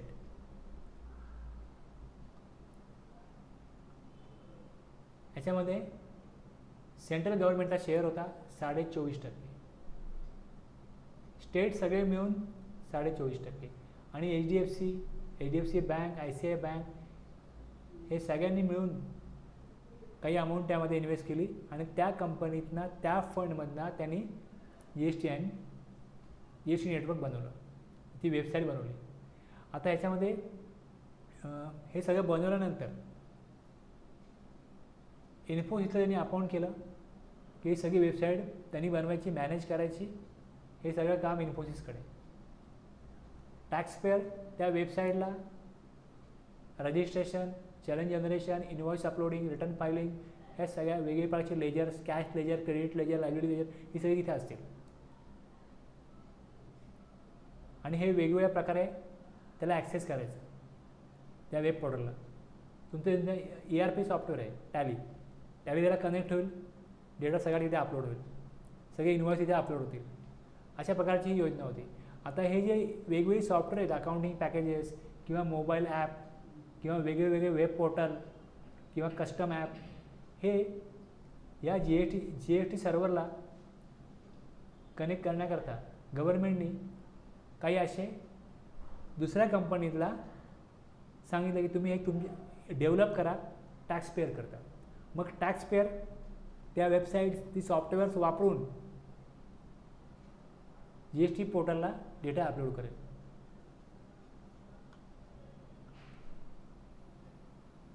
जी एस पी वर दिलं ना G S P G S P G S T सर्व्हरसाठी हे जी एस टी सुविधा प्रोव्हायडर असं इथे वेगळी नावं आहेत. Taxman Tally Tata Consultancy Services हे वेगवेगळे कंपनीज आहेत ते युजरकरता काही सॉफ्टवेअर बनवतील वेबसाईट बनवतील आणि त्याच्या थ्रू जी एस टी पोर्टलला डेटा जो आहे तो अपलोड केला जाईल. G S P through G S T एनला ॲक्सेस होईल. आणि इकडे ॲप्लिकेशन सर्व्हिस प्रोव्हायडर टॅली जे आहे हे एक ॲप्लिकेशन आहे. त्याच्यामध्ये अशा फॅसिलिटीज आहे की जिकडे तुम्ही इन्व्हॉइस बनवा जिकडे तुम्ही जी एस टीचा जो रिटर्न्स आहे त्या करा डेटा प्रिपेअर करा. रिटर्न्स तुम्ही ते अपलोड करा. म्हणजे जे सुविधा प्रोव्हायडर आहेत ते ॲप्लिकेशन सर्व्हिस प्रोव्हायडर पण असू शकतात. एक सुविधा प्रोव्हायडर जे त्यांच्या सॉफ्टवेअर थ्रू त्यांच्या पोर्टल थ्रू त्यांच्या system through G S T पोर्टलला डेटा अपलोड करण्याकरता मदत करते गव्हर्नमेंटला आणि जे युजर आहेत ज्यांना जे बिलिंग वगैरे करायचं आहे त्याकरता ते ॲप्लिकेशन डेव्हलप करतील. ज्या ॲप्लिकेशनमुळे invoice uploading return filing challan generation payment of tax हे करता येईल. ही सगळी चेन होती. हे सगळं मोठं प्लॅनिंग होतं. हे सगळं एक जुलैला जर गव्हर्नमेंटला जी एस टी इम्प्लिमेंट करायचं आहे त्याच्या अगोदर हे G S P A S P आणि G S T N portal हे सगळं रेडी होणं गरजेचं होतं. पण ते प्रॉपरली सगळं इम्प्लिमेंट न झाल्यामुळे पुढचे जे पाच सहा महिने ह्याच्यामध्ये सगळ्यांनाच खूप मनस्ताप सहन करायला लागला. खूप त्रास सहन करायला लावला. आत्ता आपण जे बघतोय G S T R one बघतोय तसं G S T R one आणि तुम्ही G S T R three B बघताय. ह्यात कुठे आहे थ्री बी नाही. आता एवढे रिटर्न होते जी एस टीमध्ये पहिले किंवा अजूनही आहेत. G S T R one आहे मंथली जो दहा तारखेपर्यंत करायचा होता. मग दहा तारखेनंतर केल्यानंतर G S T R two A बघतो आपण. तो अकरा तारखेपासून ते पंधरा तारखेपर्यंत G S T R two A generate झाल्यानंतर तुमच्याकडे तो G S T R two आहे तुम्ही त्याच्याशी कंपेअर करायचा टू ए. जर तुमचा एखादा इन्व्हॉइस म्हणजे रिसिपियंटचा एखादा इन्व्हॉइस सप्लायरने अपलोड केलेला नाही आहे आणि तो टू एमध्ये आलेला नाही आहे तर अकरा ते पंधरा या डेटमध्ये रिसिपियंटनी तो इन्व्हॉइस ॲड करायचा. तो ॲड केल्यानंतर म्हणजे टू एमध्ये जे काय आलेलं आहे त्यामध्ये काही इनवॉईस राहिलेत. काही इनवॉईसची डेट चुकली आहे अमाऊंट चुकली आहे हे जर रिसिपेंटच्या लक्षात आलं तर रिसिपेंट कम्युनिकेट करेल सप्लायरला की माझा एक इनवॉईस कमी टाकला. माझी अमाऊंट चुकवलीस आता मी काय करतो? करेक्शन करतो. तू ॲक्सेप्ट कर. ठीक आहे तू टाक आता. आता मी काय करू शकत नाही. दहापर्यंत माझा माझा माझा चान्स होता तो गेला आता. मी विसरलो. दुसऱ्या केसमध्ये जसं टू एमध्ये चेंज केला ऑटो पॉप्युलेटर होणार टू ए या टू एमध्ये जर का टूप्रमाणे माझ्या बुक्सल अकाउंटमध्ये जे इन्व्हॉइस दिसत आहेत त्याप्रमाणे सप्लायरने अपलोड नाही केले तर मी त्या टू एमध्ये काय ॲडिशन केल्यानंतर मग वन ए मिळणार सप्लायरला सतरा तारखेपर्यंत त्यांनी तो ॲक्सेप्ट करायचा. म्हणजे माझा जो सेल कोणी दाखवला आहे सप्लायरनी परचेस माझा फायनल झाला अशा प्रकारे अपडेट केल्यानंतर. आता टॅक्स मी किती करेक्ट केला आहे तो परचेसमध्ये आला आहे आणि मी आउटवर्ड सेल ज्याला केला आहे ते त्याचप्रमाणे इनवॉईस ॲक्सेप्ट करणार. म्हणजे माझा सेल आणि परचेस वेबसाईटला फायनल होणार. लायबिलिटी किती आहे ही वेबसाईट दाखवणार. येस पेमेंट चलन बनवायचं. पेमेंट करायचं G S T R three हे पाच रिटर्न केल्यानंतर G S T R three भरल्यानंतर रिटर्न कंप्लीट जी एस टीचं आता रजिस्टर आर टू होत नाही. रजिस्टर आर टू होत नाही कारण वेब पोर्टल गडबडलं. रजिस्टर आर त्यावेळेस एडी झालंच नाही. मग त्यांनी टू स्थगित केला तो आजपर्यंत स्थगित आहे. म्हणजे सगळी कामं सोडून कंपनी हेच काम करेल. कंपनीकडे नाईलाजास्तव दोन तीन माणसं असतात अकाउंट डिपार्टमेंट सांभाळायला. बाकी सगळ्या सी ईकडे सोपवलेलं असतं. अशा याच्यामध्ये तुम्ही जर का अशाच प्रकारे technology base G S T आणला आणि सगळं काम फोकस करून करण्याकडे दिलं आणि व्यवस्थित स्किल पर्सन ठेवलं कामाला तरच ते पॉसिबल आहे. म्हणजे ऑर्गनाईज सेक्टरमध्ये होऊ शकतं पण जे अनऑर्गनाईज सेक्टर आहे ज्यांचं बजेट कमी आहे अकाउंट डिपार्टमेंटचं त्यांना ते पॉसिबल नाही. आता हे जे मॅचिंग करायचं काम आहे हे कोण करणार? सीची माणसं करणार तर सीची ॲड्रेस वाढवणार. आणि जर त्या बिझनेसला स्वतः करायचं आहे त्यांना एक वेगळा माणूस ठेवायला लागेल याच्याकरता. त्यांचं कॉस्टिंग वाढणार. त्यामुळे ते काय होऊ शकलं नाही. कॉस्टिंग खूप वाढली. कॉम्प्लायन्सेस कॉस्ट लोक जास्त मागायला लागले. व्यापारी त्रस्त झाले. त्यात वेबसाईट चालत नव्हती. त्यामुळे जे शेअर टू आता स्थगितच आहे. Two A two two A बघतो ना आपण. टू एमध्ये आपण आता मॅचिंग करतो टू एमध्ये पण तिकडे जाऊन एखादा इन्व्हॉइस कमी आला आहे तर तो रिसिपेंट ॲड नाही करत. म्हणजे वन ए जनरेट होणार होता ते ॲड केल्यामुळे. म्हणजे आता आपल्याकडे टॅलीमध्ये आपण टू बघतो. तसा टू तिकडे येणार होता. त्या टू एमध्ये चेंजेस करू शकतो आपण. म्हणजे जे दिसतंय ते आहेच. जे टू एमध्ये दिसतंय ते सगळं टूमध्ये पण असणार आहे. प्लस तुम्ही जे उरलेले इन्व्हॉइस आहेत जे राहिलेले इन्व्हॉइस आहेत ते ॲड करायचे. आणि ते जसे ॲड करून तुम्ही तिकडे सबमिट कराल त्या सप्लायरला जे इनवॉईस त्यांनी टाकलेत त्याच्या व्यतिरिक्त कुठले इनवॉईस ॲड झाले तर त्याच्या वन एमध्ये दिसतील. किंवा त्यांनी टाकलेल्या इनवॉईसमध्ये जर काय चेंजेस झाले तर ते त्याला वन एमध्ये दिसतील. आणि तो मग ॲक्सेप्ट करेल म्हणजे त्याचा जी एस वन अपडेट होईल. त्याचा वन अपडेट झाला का तुमचा परत टू ए अपडेट होईल. बस मग वन मग तुमच्या टू एमध्ये किती क्रेडिट आहे? ते वन तुमच्या वनशी कंपेअर होईल. तुम्ही सप्लायर पण आहात तुम्ही रिसिपियंट पण आहात पण तुमचा सप्लायर तुमचा आय टी सी फायनल करत असतो. तुमच्या सप्लायर इन्व्हॉइस अपलोडच नाही केले तर तुमचा आय टी सी फायनल कसा होईल? मग त्याच्या ज्या चुका आहेत त्या तुम्ही जेव्हा टूमध्ये भराल रेशिया टूमध्ये त्यावेळेस त्यावेळेस वन ए जाईल. आता आपण टू भरत नाही टू नाही आहे वन ए पण नाही आहे त्यामुळे थ्री पण नाही आहे आणि ह्याला पर्याय म्हणून थ्रीला मग गव्हर्नमेंटने थ्री बी आणला. आणि पहिल्यांदा जुलै आणि ऑगस्ट पुरतं आम्ही आणलं आहे म्हणून सांगितलं. आणि पुढे मग तो म्हणजे म्हण आहे ना भटराला दिली ओसरी आणि भट हातपाय पसरी तो पसरला. आता तो जाणारच नाही. तो पहिले ॲक्च्युली ॲक्ट लॉमध्ये नव्हता. मग नंतर गव्हर्नमेंटने अमेंडमेंट करून म्हणजे कोर्टामध्ये केसेस गेल्या की हा तर काय लॉस हा लॉमध्ये नाहीच आहे हा कुठे नाहीच आहे. मग थ्री बी हा रिटर्नच नाही आहे हे एक स्टेटमेंट आहे जे गव्हर्नमेंटनी तात्पुरता टेंपररी आणलं होतं. मग नंतर गव्हर्नमेंटने त्याला लॉ अमेंड करून अशा प्रकारे त्याला रेट्रोस्पोटिव्ह अमेंडमेंट दिली. की जुलै सतरा आम्ही जेव्हा लॉ आणला त्यापासून थ्री बी आहे अशी अमेंडमेंट करा. त्यापासूनच आहे. आम्ही त्याला त्यापासून वापरतो आहे तो पर्याय म्हणून वापरतो थ्रीला त्यामुळे ते स्टेटमेंट असं स्टेटमेंट आहे असं लोक समजतात. कारण तेव्हा असा लॉ नव्हता. तो लॉ आता आम्ही करतो आहे आणि लागू करतो आहे एक जुलैपासून. म्हणजे असं म्हणणारे होते की हा काय ॲज पर लॉ कायद्यामध्ये त्याला कुठे स्थानात नाही थ्री बीला हा नोटिफिकेशन काढून तात्पुरता आणलेला आहे. आता तो स्टेबल झाला. तो लॉमध्ये आला.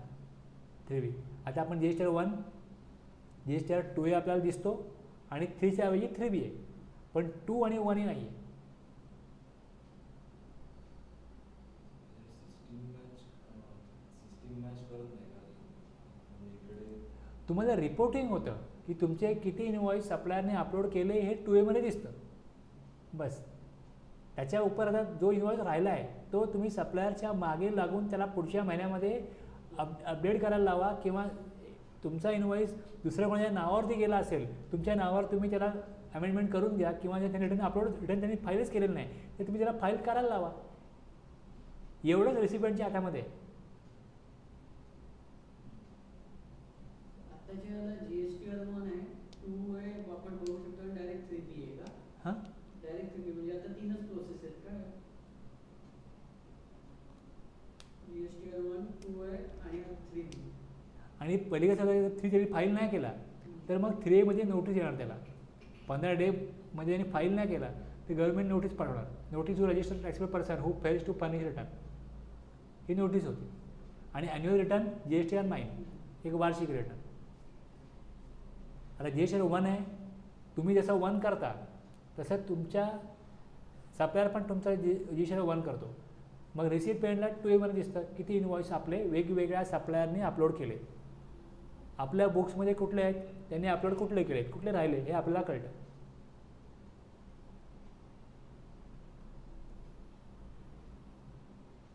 मी तेच दिलं इकडे. जे शर वन मग टू ए मग टूमध्ये कंपेअर करायचं मग टूला अपडेट करा मग जी एस आर वन येईल मग तो सप्लायरचा जो जी एस आर वन आहे तो अपडेट होईल. हे असं एक चक्रव्यूह टाईप बनलं होतं.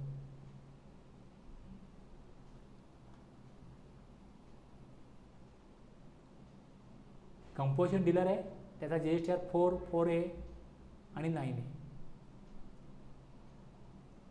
A G S T number कसा असतो हे दिलं आहे उद्या मी हा टॉपिक सुरू करीन हे पुढच्या परवाच्या आपल्या सेशनला की जी एस सी रजिस्ट्रेशन ते कुठल्या कुठल्या स्टेटला किती लिमिट आहे? मग सेक्शन बावीस आहे तिथपासून आपण सुरू करू. मी तुम्हाला पहिले ॲक्ट जे मी ते ओपन करून तुम्हाला दाखवलं लागता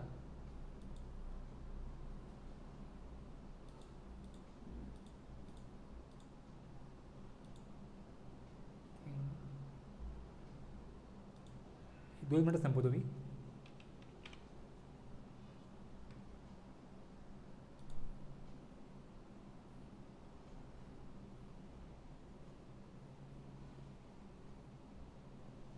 हे जे आहेत ना ॲक्ट नोटिफिकेशन सर्क्युलर ऑर्डर्स हे सगळे तुम्हाला मी पहिले सांगेन. आणि मग याच्यामध्ये तुम्हाला मग किती सेक्शन आहेत काय आहेत हे आपण सांगू.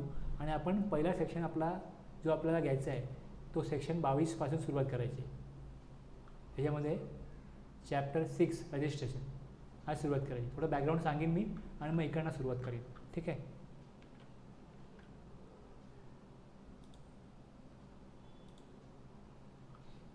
तर हे आपलं कंपोशन डिलर काय असतो हे मी सांगेन उद्या. ठीक आहे? आता आपण थांबूया.